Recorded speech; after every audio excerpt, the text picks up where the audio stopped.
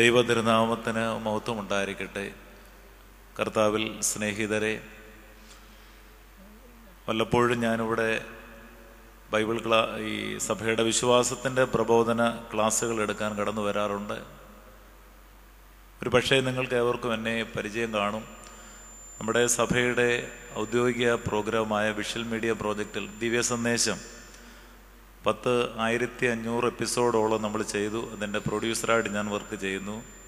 ഷാലോൻ T വിയിൽ കൂടെ കൂടെ ഈ പ്രോഗ്രാം നമ്മൾ കടന്നു വരുമ്പം ഓർക്കണം.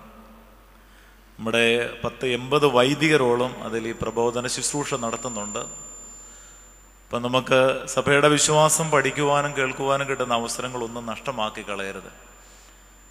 എനിക്ക് വളരെ സന്തോഷം തോന്നുന്നത് സ്ത്രീകളോടൊപ്പം കുറേ പുരുഷന്മാരും വന്നിരിക്കുന്നുണ്ട്. സാധാരണ പൊതുവെ വെള്ളിയാഴ്ച ദിവസങ്ങളിൽ പുരുഷന്മാരുടെ എണ്ണം പൊതുവെ കുറവാണ്. പക്ഷേ പരുമല പള്ളി ആയതുകൊണ്ടും നമ്മുടെ ജീവിതത്തിൽ ഇന്ന് അനുഭവിക്കുന്ന കുറേയേറെ വേദനകൾ കൊണ്ടും നമ്മൾ ഇതിന് കുറേയേറെ സമയം കണ്ടെത്തുന്നു. ഈ തീർത്ഥാടന കേന്ദ്രമായതുകൊണ്ട് കുറേയേറെ ആൾക്കാർ കടന്നു വരും നമ്മുടെ മനസ്സും ശ്രദ്ധയൊന്നും അങ്ങോട്ട് പോകരുത്. ഇടയ്ക്ക് അത്യാവശ്യം ആരെങ്കിലും പോകാതിരുന്നാൽ ഏറ്റവും നല്ലത് ഒരു പക്ഷേ ആരെങ്കിലും അങ്ങോട്ടും പോകുമ്പോഴും ഇവിടെ നേർച്ചിടാൻ വരുമ്പോഴൊന്നും എന്നെ നോക്കി ഇരിക്കുന്ന ആരും ശ്രദ്ധ മാറരുത്. തിരുമേനിമാരും വൈദികരും വിശ്വാസികളും സമസ്ത വിശ്വാസത്തിലുള്ളവരും കടന്നു വരും അതുകൊണ്ട് ഞാൻ ഇന്ന് എടുക്കുന്ന സബ്ജക്റ്റ് തന്നെ കുറച്ച് നിങ്ങൾക്ക് പരിചയം കാണുമെങ്കിലും അതിന്റെ പിന്നിൽ നിങ്ങൾ വളരെ ശ്രദ്ധയോടെ ഇരുന്നാൽ നിങ്ങളുടെ മനസ്സിന് ഇന്നൊരു സമാധാനമായിട്ട് തിരികെ പോകാൻ സാധിക്കും. അതുകൊണ്ടാണ് ഞാൻ ആദ്യമേ തന്നെ പറയുന്നത്. എന്റെ കണ്ണും നിങ്ങളുടെ കണ്ണും തമ്മിൽ ഒരു നല്ല ബന്ധം വേണം. ആത്മീയ ബന്ധം മുറിയരുത്. ഒരാൾ പോലും മൊബൈൽ ഫോൺ എടുത്തുകൊണ്ട് ഇടയ്ക്ക് ഇറങ്ങി പോകരുത്. എല്ലാവരും സൈലന്റ് മോഡിൽ തന്നെ എടുക്കുക അത്യാവശ്യം പള്ളിയിൽ വെച്ചുള്ള കോൾ എടുക്കരുത്. അത് തന്നെ ഒരു പിശാചാണ്. നമ്മൾ പണ്ടൊക്കെ എത്ര മൊബൈലും ഉണ്ടാ ജീവിച്ചവര്? അപ്പോൾ അന്നൊക്കെ ദൈവത്തിന്റെ ശബ്ദം കേൾക്കാൻ നമുക്ക് സാഹചര്യം ഉണ്ടായിരുന്നു. ഇന്ന് അതെല്ലാം കുറഞ്ഞ് വേറൊരു ശൈലിയിലേക്ക് മാറിയതുകൊണ്ട് സമാധാനം നഷ്ടപ്പെട്ടു വരികയാണ്. അതുകൂടാതെ നല്ല പ്രാർത്ഥനയുടെ രീതിയിൽ തന്നെ നിങ്ങൾ ഇവിടെ ഇരിക്കാവൂ. ഞാനും മാനസികമായ എന്റെ മോടെ ഒരു അഡ്മിഷനുമായിട്ട് ഞാൻ ഇന്ന് നല്ല പ്രയാസത്തിലായിരുന്നു. ഇപ്പം ഞാൻ എന്നെ ഇന്നലെ വൈകിട്ട് ഞാൻ വന്ന് താമസിച്ചതാണ്. ഞാനും മോളും ഇന്നോൾ കുർബാനയ്ക്ക് ഉണ്ടായിരുന്നു. ഇപ്പം ധ്യാനത്തിന് ഞാൻ ഇങ്ങോട്ട് ഇറങ്ങാന്തരം ആ കോളേജിൽ നിന്ന് എന്നെ വിളിച്ചിട്ട് അഡ്മിഷൻ റെഡിയായി എന്ന് പറഞ്ഞു. ഞാൻ അഡ്മിഷൻ റെഡിയായതുകൊണ്ട് പറയുമല്ല ഇവിടെ ഇരിക്കുന്ന പലരും നമുക്ക് കുറേയേറെ ആവശ്യങ്ങളുണ്ട്. ദൈവമക്കൾ ഇതെല്ലാം തമ്പരം കാണുന്നില്ലേ? ദൈവം അറിയുന്നില്ലേ? അതുകൊണ്ട് നമ്മൾ എന്തിനാണ് നിന്റെ സകല ഭാരവും എന്റെ മേൽ എന്നാണ് അതുകൊണ്ട് ഇന്ന് നമ്മുടെ ശ്രദ്ധയിലേക്ക് ഞാൻ കൊണ്ടുവരുന്ന ഒരു വേദഭാഗം. ബൈബിൾ ഉള്ളവർ എടുത്ത് നോക്കിയാൽ മതി. നോക്കുന്നവരോട് പറയട്ടെ ഫുൾ ടൈം കുനിഞ്ഞ് നിങ്ങൾ ഇരിക്കരുത്. അത്യാവശ്യം നോക്കിയിട്ട് വീണ്ടും നിങ്ങൾ എന്റെ ഫേസിലേക്ക് തന്നെ ശ്രദ്ധിച്ചിരിക്കണം. വിശുദ്ധ മത്തായി പതിനേഴാം അധ്യായത്തിന്റെ ആദ്യ ഭാഗം നമ്മൾ ഓഗസ്റ്റ് മാസം ആറാം തീയതി മറുരൂപ പെരുന്നാളായി. കൂടാര പെരുന്നാളായി നമ്മൾ കൊണ്ടാടുമ്പോൾ അന്ന് വായിക്കുന്ന വേദഭാഗമാണ്. വിശുദ്ധ മത്തായി പതിനേഴാം അധ്യായത്തിന്റെ ഒന്നു മുതൽ താഴോട്ടുള്ള വേദഭാഗത്ത് വായിക്കുമ്പോൾ അതിന്റെ ഓരോ തുടക്കം തന്നെ പ്രാർത്ഥനയുടെ ആറ് ഭാവങ്ങൾ നിങ്ങളുടെ ശ്രദ്ധയിലേക്ക് ഞാൻ കൊണ്ടുവരാം. നമ്മളെല്ലാം ഇന്ന് പ്രാർത്ഥിക്കാൻ വന്നിരിക്കുന്നവരാണ് വളരെ ശ്രദ്ധയോടെ നിങ്ങൾ കേട്ടിരിക്കണം. പ്രാർത്ഥിക്കാൻ വരുമ്പം നമ്മുടെ ഈ പ്രാർത്ഥനയ്ക്ക് ആറ് ഭാവങ്ങൾ കുറേയേറെ പറയാനുണ്ടെങ്കിലും യേശുദമ്പുരാൻ പ്രാർത്ഥനയിലൂടെ നമ്മുടെ ജീവിതത്തിൽ കൊണ്ടുവരാൻ കാണിച്ചു തന്ന ആറ് പ്രാർത്ഥനയുടെ ഭാവങ്ങൾ. അതിൽ ആദ്യത്തെ ഭാവം വായിച്ചു നോക്കുമ്പോൾ തന്നെ അറിയാം വിശുദ്ധ മത്തായി. വേദഭാഗം നിങ്ങൾ നോർത്തിരിക്കെ വീട്ടിൽ പോയി ശാന്തമായി ഒന്നുകൂടെ വായിച്ചാൽ മതി. വിശുദ്ധ മത്തായി പതിനേഴിന്റെ ആദ്യ ഭാഗം വായിക്കുമ്പോൾ ആറ് ദിവസം കഴിഞ്ഞ ശേഷം യേശു പത്രോസിനെയും യാക്കോബിനെയും അവന്റെ സഹോദരനായ യോഹന്നാനെയും കൂട്ടി. അപ്പോൾ ആദ്യത്തെ ചിന്ത പ്രാർത്ഥന നമ്മൾക്ക് വേണ്ടി മാത്രമുള്ളതല്ല. പ്രാർത്ഥന അനേകരെ ദൈവസ്ഥാനത്തിൽ കൂട്ടിക്കൊണ്ടുവരുന്നതാണ് പത്രോസിനെയും യാക്കോബിനെയും യോഹന്നാനെയും കൂട്ടി ഇപ്പോൾ എന്തായി കൂട്ടുക എന്ന് പറഞ്ഞാൽ നിന്റെ സഹോദരൻ എവിടെയെന്ന് കായിനോട് ദൈവം ചോദിക്കുന്നുണ്ട്. പത്തു കുഷ്ഠരോഗി സൗഖ്യമായി ഒരുവൻ യേശുവിന്റെ അടുക്കൽ വന്നപ്പോൾ ചോദിച്ചു എന്തേ ബാക്കി ഒൻപത് പേർ? അപ്പോൾ നമ്മുടെ ജീവിതത്തിൽ ഏത് പ്രായത്തിൽ ദൈവം നമ്മളെ വിളിച്ചാലും നമ്മുടെ ഏറ്റവും വലിയ ദൗത്യം എന്തെന്നറിയാമോ? വലിയ കെട്ടിടങ്ങളും വലിയ ബിസിനസ്സുകളും വലിയ വസ്തുക്കളും ആഭരണങ്ങളും വാരി കൂട്ടുന്നതല്ല. അതിനേക്കാൾ ഉപരിയായി ദൈവമേ എന്നെ ദൈവം വിളിക്കുമ്പോൾ ഞാൻ എത്ര പേരെ പള്ളിയിൽ കൊണ്ടുവന്നു? ഞാൻ എത്ര പേരെ ദൈവത്തിന് കാണിച്ചു കൊടുത്തു? എന്റെ ജീവിതം കണ്ടിട്ട് എത്ര പേർ പള്ളിയിൽ ദൈവത്തോട് അടുത്തു? ഇന്ന് നമുക്കറിയാം നമ്മുടെ അനേക ദേവാലയങ്ങൾ ക്ലബ്ബ് സംസ്കാരങ്ങളിലേക്ക് മാറിക്കൊണ്ടിരിക്കുക നമ്മളെ കണ്ടിട്ടാണ് പലരും പള്ളിയോട് അകലുന്നത്. നമ്മളെ കണ്ടിട്ടാണ് പലരും പള്ളിയോട് അകന്നു മാറുന്നത്. അതുകൊണ്ടാണ് വളരെ ശ്രദ്ധയോടെ നിൽക്കണം. ദേവാലയത്തിൽ കടന്നു വരുന്ന ദൈവമക്കൾ നമ്മളെ കണ്ടിട്ട് ഒരു പത്തു പേർ ദൈവത്തോട് അടുക്കണം. പത്രോസിനെയും യാക്കോബിനെയും യോഹന്നാനെയും കൂട്ടിക്കൊണ്ട് യേശു തമ്പുരാൻ മലയിലേക്ക് കയറിപ്പോയെങ്കിൽ സഹോദരങ്ങളെ അത് കൂട്ടിക്കൊണ്ട് വരണമെങ്കിൽ നമ്മുടെ ജീവിതത്തിൽ പ്രധാനപ്പെട്ട ഒരു രണ്ട് മൂന്ന് ക്വാളിറ്റി വേണം. ഒന്ന് ട്രസ്റ്റ് ഇൻ ദി ലോഡ് രണ്ട് ഡിലൈറ്റ് ഇൻ ദി ലോഡ് മൂന്ന് commit to your way the Lord അതിൽ ഒന്ന് ട്രസ്റ്റ് ഇൻ ദി ലോഡ് എന്താ ട്രസ്റ്റ് ഇൻ ദി ലോഡ് നമുക്കെല്ലാവർക്കും ദൈവത്തിൽ വിശ്വാസമുണ്ട്. പക്ഷെ ആ വിശ്വാസം ദൈവാശ്രയമായി എന്റെ ദൈവമല്ലാതെ എന്റെ ജീവിതത്തിൽ വേറെ ഒന്നും എന്റെ ദൈവം അറിയാതെ എന്റെ ജീവിതത്തിൽ ഒന്നും സംഭവിക്കില്ല എന്നുള്ള നല്ല ദൈവവിശ്വാസവും. അടുത്തിടയ്ക്ക് ബഹറിൽ വെച്ച് ക്ലിമി സിനിമയോടൊപ്പം ഒരു ഒരു മാസത്തോളം അവിടെ ഉണ്ടായി. തിരുമേനി രണ്ട് മൂന്ന് പ്രാവശ്യം എന്നോട് പറഞ്ഞ ഒരു വരി നമുക്ക് എല്ലാവർക്കും അറിയാവുന്ന ഒരു സെന്റൻസാണ് അച്ഛാ ദൈവത്തെ മുറുകെ പിടിച്ചോണോ വന്ന് എന്റെ അമ്മ എന്നെ പഠിപ്പിച്ചിട്ടുണ്ട്. ഇവിടെ ഇരിക്കുന്ന എല്ലാവർക്കും ആ വാക്യം അറിയാം അല്ലേ? ദൈവത്തെ മുറുകെ പിടിക്കുക. പക്ഷെ നമ്മൾ എത്ര പേർക്ക് അതിന്റെ ആഴം അറിയാം? നമുക്ക് എത്ര പേർക്ക് അതിന്റെ ആഴം അറിയാം? ദൈവത്തെ മുറുകെ പിടിക്കണം. എങ്ങനെ മുറുകെ പിടിക്കുന്നത്? നിന്റെ സകല ഭാരവും എന്റെ മേൽ ഇട്ടുകൊള്ളുക. സഹോദരങ്ങളെ എന്തെല്ലാം നമ്മുടെ ജീവിതത്തിൽ കടന്നു വരുമ്പോഴും ദൈവത്തെ മുറുകെ പിടിക്കാൻ പ്രഭാതം മുതൽ രാത്രിയിൽ കിടന്ന് ഉറങ്ങുന്ന സമയം വരെയും രാവും പകലും എന്റെ ദൈവം അറിയാതെ എന്റെ ജീവിതത്തിലൊന്നും സംഭവിക്കുകയില്ല എന്നും എന്റെ ദൈവത്തിന്റെ വഴിവിട്ട് ഞാൻ പോവുകയില്ല എന്നൊരു തീരുമാനിച്ചാൽ അതൊരു വലിയ ദൈവിക അനുഭവമാണ് അത് വരണമെങ്കിൽ ട്രസ്റ്റ് ഇൻ ദി ലോഡ് ദൈവമായിട്ട് നല്ലൊരു ആശ്രയം വേണം. യേശു തമ്പുരാൻ പറഞ്ഞു എന്നെ കണ്ടവൻ പിതാവിനെ കണ്ടിരിക്കുന്നു. ഞാനും പിതാവും ഒന്നാകുന്നു. അപ്പൊ മറ്റുള്ളവരെ ദൈവസനത്തിലേക്ക് കൊണ്ടുവരണമെങ്കിൽ നമ്മൾ തന്നെ ദൈവാശ്രയത്തോടുകൂടി നല്ലൊരു മോഡലാകണം. ഇപ്പം തന്നെ ധാരാളം മാതാപിതാക്കൾ വന്ന് അച്ഛന്മാരോട് പറയാറുണ്ട് അച്ഛൻ എന്റെ മോനെ ഒന്ന് മദ്ബായി കയറ്റണം. അല്ലെങ്കിൽ എന്റെ മോനെ അച്ഛൻ ഒന്ന് പിടിക്കണം. ഞാൻ ചോദിക്കട്ടെ അമ്മയപ്പന്മാർ പിടിക്കാതെ ഒരു പ്രായം കഴിഞ്ഞ് അപ്പൻ പിടിക്കാൻ പറ്റും അച്ഛൻ പിടിക്കാൻ പറ്റൂ? ഒരു കുഞ്ഞ് ഏറ്റവും കൂടുതൽ പഠിക്കുന്ന പ്രായം മൂന്ന് വയസ്സിനകത്താണ് പണ്ട് സ്ത്രീകൾ പ്രഗ്നന്റ് ആകുമ്പം ഏറ്റവും കൂടുതൽ കണ്ണുനീരൊഴുക്കും. അതിന്റെ ഓരോ മാസം കഴിയുമ്പം ആറാം മാസം ഏഴാം മാസം ആകുമ്പോൾ പണ്ടത്തെ അമ്മമാർ പറയുന്ന കേട്ടിട്ടുണ്ട് അവരുടെ കണ്ണുനീരാണ് ഈ കുഞ്ഞിന്റെ തലയിൽ വയറ്റിൽ വീഴുന്നത്.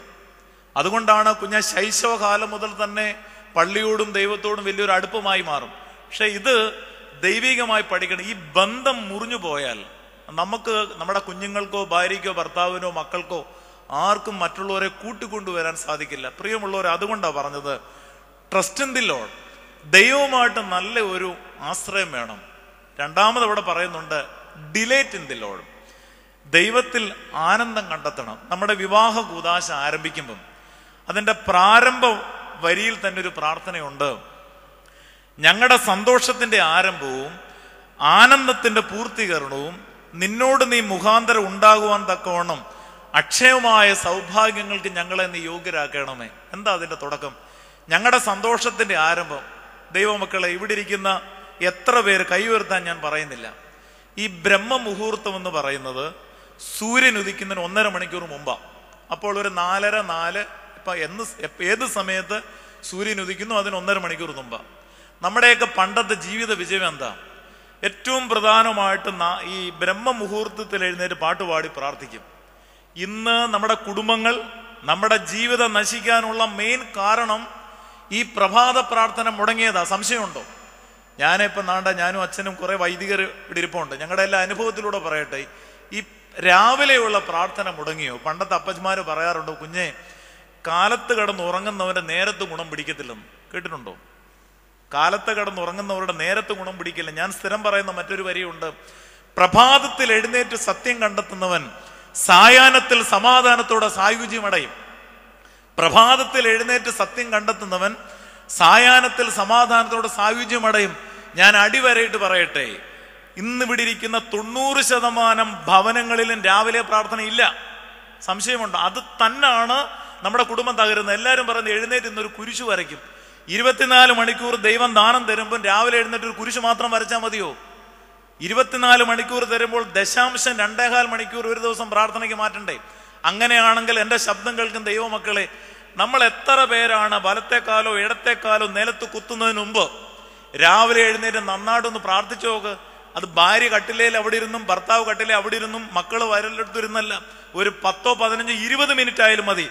നിങ്ങളുടെ രണ്ടായിരത്തി പതിനേഴ് ജൂലൈ മാസം പതിനാലാം തീയതി മുതൽ രണ്ടായിരത്തി പതിനെട്ട് ജൂലൈ മാസം പതിനാലാം തീയതി വരെ നിങ്ങളൊന്ന് പരീക്ഷിച്ചു നോക്കൂ. പ്രഭാതത്തിൽ എഴുന്നേറ്റ് പ്രാർത്ഥിച്ച്. നിങ്ങളുടെ ഭവനത്തിൽ വരുന്ന ഐശ്വര്യങ്ങൾ കണ്ടു കണ്ടിട്ടില്ല ചെവി കേട്ടിട്ടില്ല ഒരു മനുഷ്യന്റെ ഹൃദയത്തിൽ തോന്നിയിട്ടുമില്ല. പക്ഷെ എവിടാ പ്രശ്നം പറ്റുന്നത് ഉറങ്ങാൻ തന്നെ രാത്രി പത്തും പന്ത്രണ്ടും ഒരു മണി വരെ ഉള്ള ചാനലുകളെല്ലാം മാറ്റി ഇന്റർനെറ്റും മൊബൈലും വാട്സപ്പും എല്ലാം കളിച്ച് ഞാൻ ചോദിക്കട്ടെ പത്തും പതിനായിരം പേർ വാട്സപ്പിൽ ഫ്രണ്ട്ഷിപ്പായിട്ട് നമുക്ക് കാണും. പക്ഷെ ഫ്രണ്ടിൽ എത്ര പേരുണ്ട്? ഫ്രണ്ട്ഷിപ്പ് ധാരാളമുണ്ട്. ഫ്രണ്ടിൽ എത്ര പേരുണ്ട്? ആലോചിച്ച് നോക്കിയേ ഇന്ന് നമ്മുടെ പല കുഞ്ഞുങ്ങൾക്കും അമേരിക്കയിൽ ഒബാമയെ അറിയാം ട്രംപിനെ അറിയാം. അയൽപക്കത്ത് ഉപ്പാപ്പനെ അറിയത്തില്ല. ഇഷ്ടം പോലെ ബന്ധങ്ങളാണ്. ഇഷ്ടം പോലെ കൂട്ടുകാരാ. പക്ഷെ വേദനയ്ക്ക് അയൽപക്കത്ത് എത്ര പേര് നമ്മുടെ കൂടെ വരും? അതുകൊണ്ട് ബന്ധങ്ങൾ വേണ്ട എന്ന് പറയുന്നില്ല. പ്രഭാതത്തിൽ തന്നെ ദൈവത്തിൽ നിന്ന് സന്തോഷം കണ്ടെത്തണം. അതേപോലെ മറ്റൊരു വശമാണ് രാവിലെ നമ്മുടെ കണ്ണുകൊണ്ട് ആദ്യം കാണേണ്ടത് മനോരമയിലെ പരസ്യങ്ങളല്ല മനോരമയിലെ വാർത്ത വാർത്തകളല്ല. അതിനേക്കാൾ ഉപരിയായി ദൈവിക തേജസ് കൊണ്ട് ആറാം സങ്കീർത്തനം പറയുന്നുണ്ട് എന്റെ ഹോവേ രാവിലെ ഞാൻ നിനക്കായി ഒരുക്കി കാത്തിരിക്കും. നിങ്ങൾ രാവിലെ തിരുവചനം ഒന്ന് സങ്കീർത്തനം വായിച്ചാലും മതി. ഇപ്പം നമ്മളെല്ലാം പൊതുവെ വായിക്കാതെ വിടുന്ന സങ്കീർത്തനം ഏതാണെന്നറിയാമോ? നൂറ്റി പത്തൊമ്പതാം അതിന്റെ രണ്ട് സ്റ്റാൻസ വെച്ച് സ്ഥിരം വായിച്ചു നോക്ക്. എത്ര ആഴമായ അർത്ഥങ്ങളടങ്ങിയ സങ്കീർത്തനമാണെന്ന് പറയാം നൂറ്റി പത്തൊമ്പത് വായിച്ചു നോക്ക്. എല്ലാ ദൈവിക അംശങ്ങളും അടങ്ങിയ ഒരു പൂർണതയുടെ സങ്കീർത്തനമാണ് നൂറ്റി പത്തൊമ്പത് ഇതിങ്ങനെ മാറി മാറി വായിച്ചും രാവിലെ പ്രാർത്ഥിച്ചും അതേപോലെ പണ്ടൊക്കെ നമ്മുടെ ഭവനങ്ങളിലെ രാവിലെ എഴുന്നേറ്റാൽ ഉടനെ തന്നെ വീട് ഉണർത്തും. എങ്ങനെയാ വീട് ഉണർത്തുന്നത്? അന്ന് ഗ്യാസും സ്റ്റൗവും ഇൻഡക്ഷൻ കുക്കറും വാഷിംഗ് മെഷീനും ഒന്നുമില്ല. രാവിലെ എഴുന്നേറ്റ് പാട്ടുപാടി പ്രാർത്ഥിച്ച് മൃഗങ്ങളെ നോക്കി പക്ഷി കരയുന്നത് കേട്ട് വിറകരിച്ച് സന്തോഷത്തോടെ എഴുന്നേൽക്കുന്ന കുടുംബങ്ങളിൽ എഴുപത് എൺപത് തൊണ്ണൂറ് കഴിഞ്ഞിട്ടേ മുട്ടുവേദനയൊക്കെ വരത്തുള്ളൂ. പക്ഷെ എന്നാൽ ഇന്ന് ഗ്യാസും ഉണ്ട് സ്റ്റൗവും ഉണ്ട് ഇൻഡക്ഷൻ കുക്കറും ഉണ്ട് വാഷിംഗ് മെഷീനും ഉണ്ട്. രാവിലെ നാലരയ്ക്കും ഇല്ല അഞ്ചരയ്ക്കും ഇല്ല ഏഴരയ്ക്കും ഇല്ല എട്ട് മണിക്ക് പലരും എഴുന്നേറ്റ് അടുക്കളയിൽ പോകുന്ന കണ്ടാൽ തോന്നും ഇല്ല ശവോടക്കൻ അന്ത്യൂമനം കൊടുക്കാൻ പോകുന്നുമില്ല. ഈ പലരുടെ മുഖത്തൊരു സന്തോഷമില്ല. പിതാക്കന്മാർ പറയാറുണ്ട് ഏറെ സുഖം അസുഖമാണ്. എന്റെ കൂടെ എല്ലാവരും ഒന്ന് പറഞ്ഞേ ഏറെ സുഖം അസുഖമായി. ഈ സുഖം കൂടിയതാണ് നമുക്ക് അസുഖം. സംശയമുണ്ടോ? യേശുക്രിസ്തു രണ്ടു കൂട്ടരോടെ അടുത്ത് വരാൻ പറഞ്ഞോളൂ. ആരോടൊക്കെയാ? ഒന്ന് ശിശുക്കളെ എന്റെ അടുക്കൽ വരുവാൻ വിടുവേൻ. രണ്ടാമത് ആരോടാ പറഞ്ഞെന്നറിയാമോ? അധ്വാനിക്കുന്നവരും ഭാരം ചുമക്കുന്നവരുമേ നിങ്ങൾ എന്റെ അടുക്കൽ വരുവേൻ. ദൈവമക്കളെ നമ്മൾ എന്തിനാ ഈ പരുമല വരുന്നത് ഞാനിന്ന് രാവിലെ കുർബാന മധ്യയിൽ ഞാനൊരു വിഷയം പറഞ്ഞു. ശ്രദ്ധ ചിലർക്ക് എന്നോട് അത് കേട്ട് ദേഷ്യം തോന്നി കാണും. നമ്മൾ ആരും ദൈവാനുഗ്രഹം കിട്ടാൻ പരുമലയിൽ വരരുത്. അതാണ് തെറ്റ്. നമ്മൾ പരുമലയിൽ വരുന്നത് പരുമല തിരുമേനെ കാണിച്ചു തന്ന ദൈവത്തെ കിട്ടാനാണ് പഠിപ്പിച്ചത്. അഹം ബ്രഹ്മാസ്മി എന്ന് ഹൈന്ദവ ശാസ്ത്രം പറയുന്നെങ്കിൽ നമ്മൾ പരുമലയിലും പ്രാർത്ഥനയ്ക്കും വരുന്നത് ദൈവാനുഗ്രഹം വേണ്ടെന്ന് ഞാൻ പറയുന്നില്ല. നമുക്ക് ആദ്യം വേണ്ടത് എന്താണെന്ന് അറിയാമോ ദൈവമാ വേണ്ടത്. ദൈവം എന്റെ ഉള്ളിൽ വന്നാൽ രാജാവിനെ കിട്ടിയാൽ ഖജനാവ് കൂടെ പോരും. പലപ്പോഴും ഇന്ന് ആർക്കും ദൈവത്തെ വേണ്ട ദൈവാനുഗ്രഹം മതി. നമ്മൾ എന്താ കുർബാനയ്ക്ക് ചൊല്ലുന്നത്? ദൈവമേ നീ പരിശുദ്ധൻ. ബലവാനെ നീ പരിശുദ്ധൻ. നിങ്ങളിപ്പോ ഇവിടെ വന്ന് കുറേയേറെ വസ്തുവും പണവും ആഭരണങ്ങളും വാരി കൂട്ടാൻ പ്രാർത്ഥിച്ചാൽ കാണാൻ മരിക്കും നമ്മുടെ കൂടെ വരുമോ ഉണ്മാനും ഉടുപ്പാനും ഉണ്ടെങ്കിൽ മതി എന്ന് ധരിക്കുക. വിവാ വൈദികരുടെ ശവസംസ്കാര ശുശ്രൂഷയിൽ വഴിത്താരയിലൂടെ പോകുമ്പോൾ പാടുന്ന പാട്ടാണ് നശ്വരമാം വീടെ നീ എന്തിനാണ് എന്നെ മോഹിപ്പിച്ചത്? അതുകൊണ്ട് ലൗകിക നേട്ടങ്ങൾ നേടാനാണ് ഇവിടെ വരുന്നതെങ്കിൽ അത് വ്യർത്ഥമാണ്. ആലോചിച്ച് നോക്ക്. ഇഷ്ടം പോലെ പണക്കാർ ഈ ഭൂമിയിലുള്ളപ്പം ഇഷ്ടം പോലെ പാവപ്പെട്ടവരും ഈ ഭൂമിയിലുണ്ട്. അവരെയെല്ലാം പട്ടിണിക്ക് ഇട്ടിട്ട് നമ്മളൊരു ഇന്നോവ എടുത്തുകൊണ്ട് ഇവിടെ വന്ന് കമന്ന് വീണാൽ ഈ പ്രാർത്ഥന ദൈവം കേൾക്കുന്ന സംശയമുണ്ടോ? അപ്പോൾ നമ്മുടെ ജീവിതത്തിന് ദൈവത്തിൽ സന്തോഷം കണ്ടെത്താൻ സാധിച്ചില്ലെങ്കിൽ അതൊരിക്കലും ദൈവികമായി തീരത്തില്ല. അപ്പോൾ ഞാൻ പറഞ്ഞു വന്ന ആദ്യത്തെ പോയിന്റിൽ രണ്ട് കാര്യമാണ്. ഒന്ന് ട്രസ്റ്റ് ഇൻ ദി ലോഡ് രണ്ട് ഡിലേറ്റ് ഇൻ ദി ലോഡ് മൂന്ന് commit your way the Lord ദൈവത്തിന്റെ വഴികളിലൂടെ സമർപ്പിതമായി തന്നെ നമ്മൾ നടക്കണം. അതായത് രാവിലെ എഴുന്നേറ്റാൽ പണ്ട് പ്രായമുള്ളവർ പാടുന്ന ഒരൊറ്റ പാട്ടേ ഉള്ളൂ.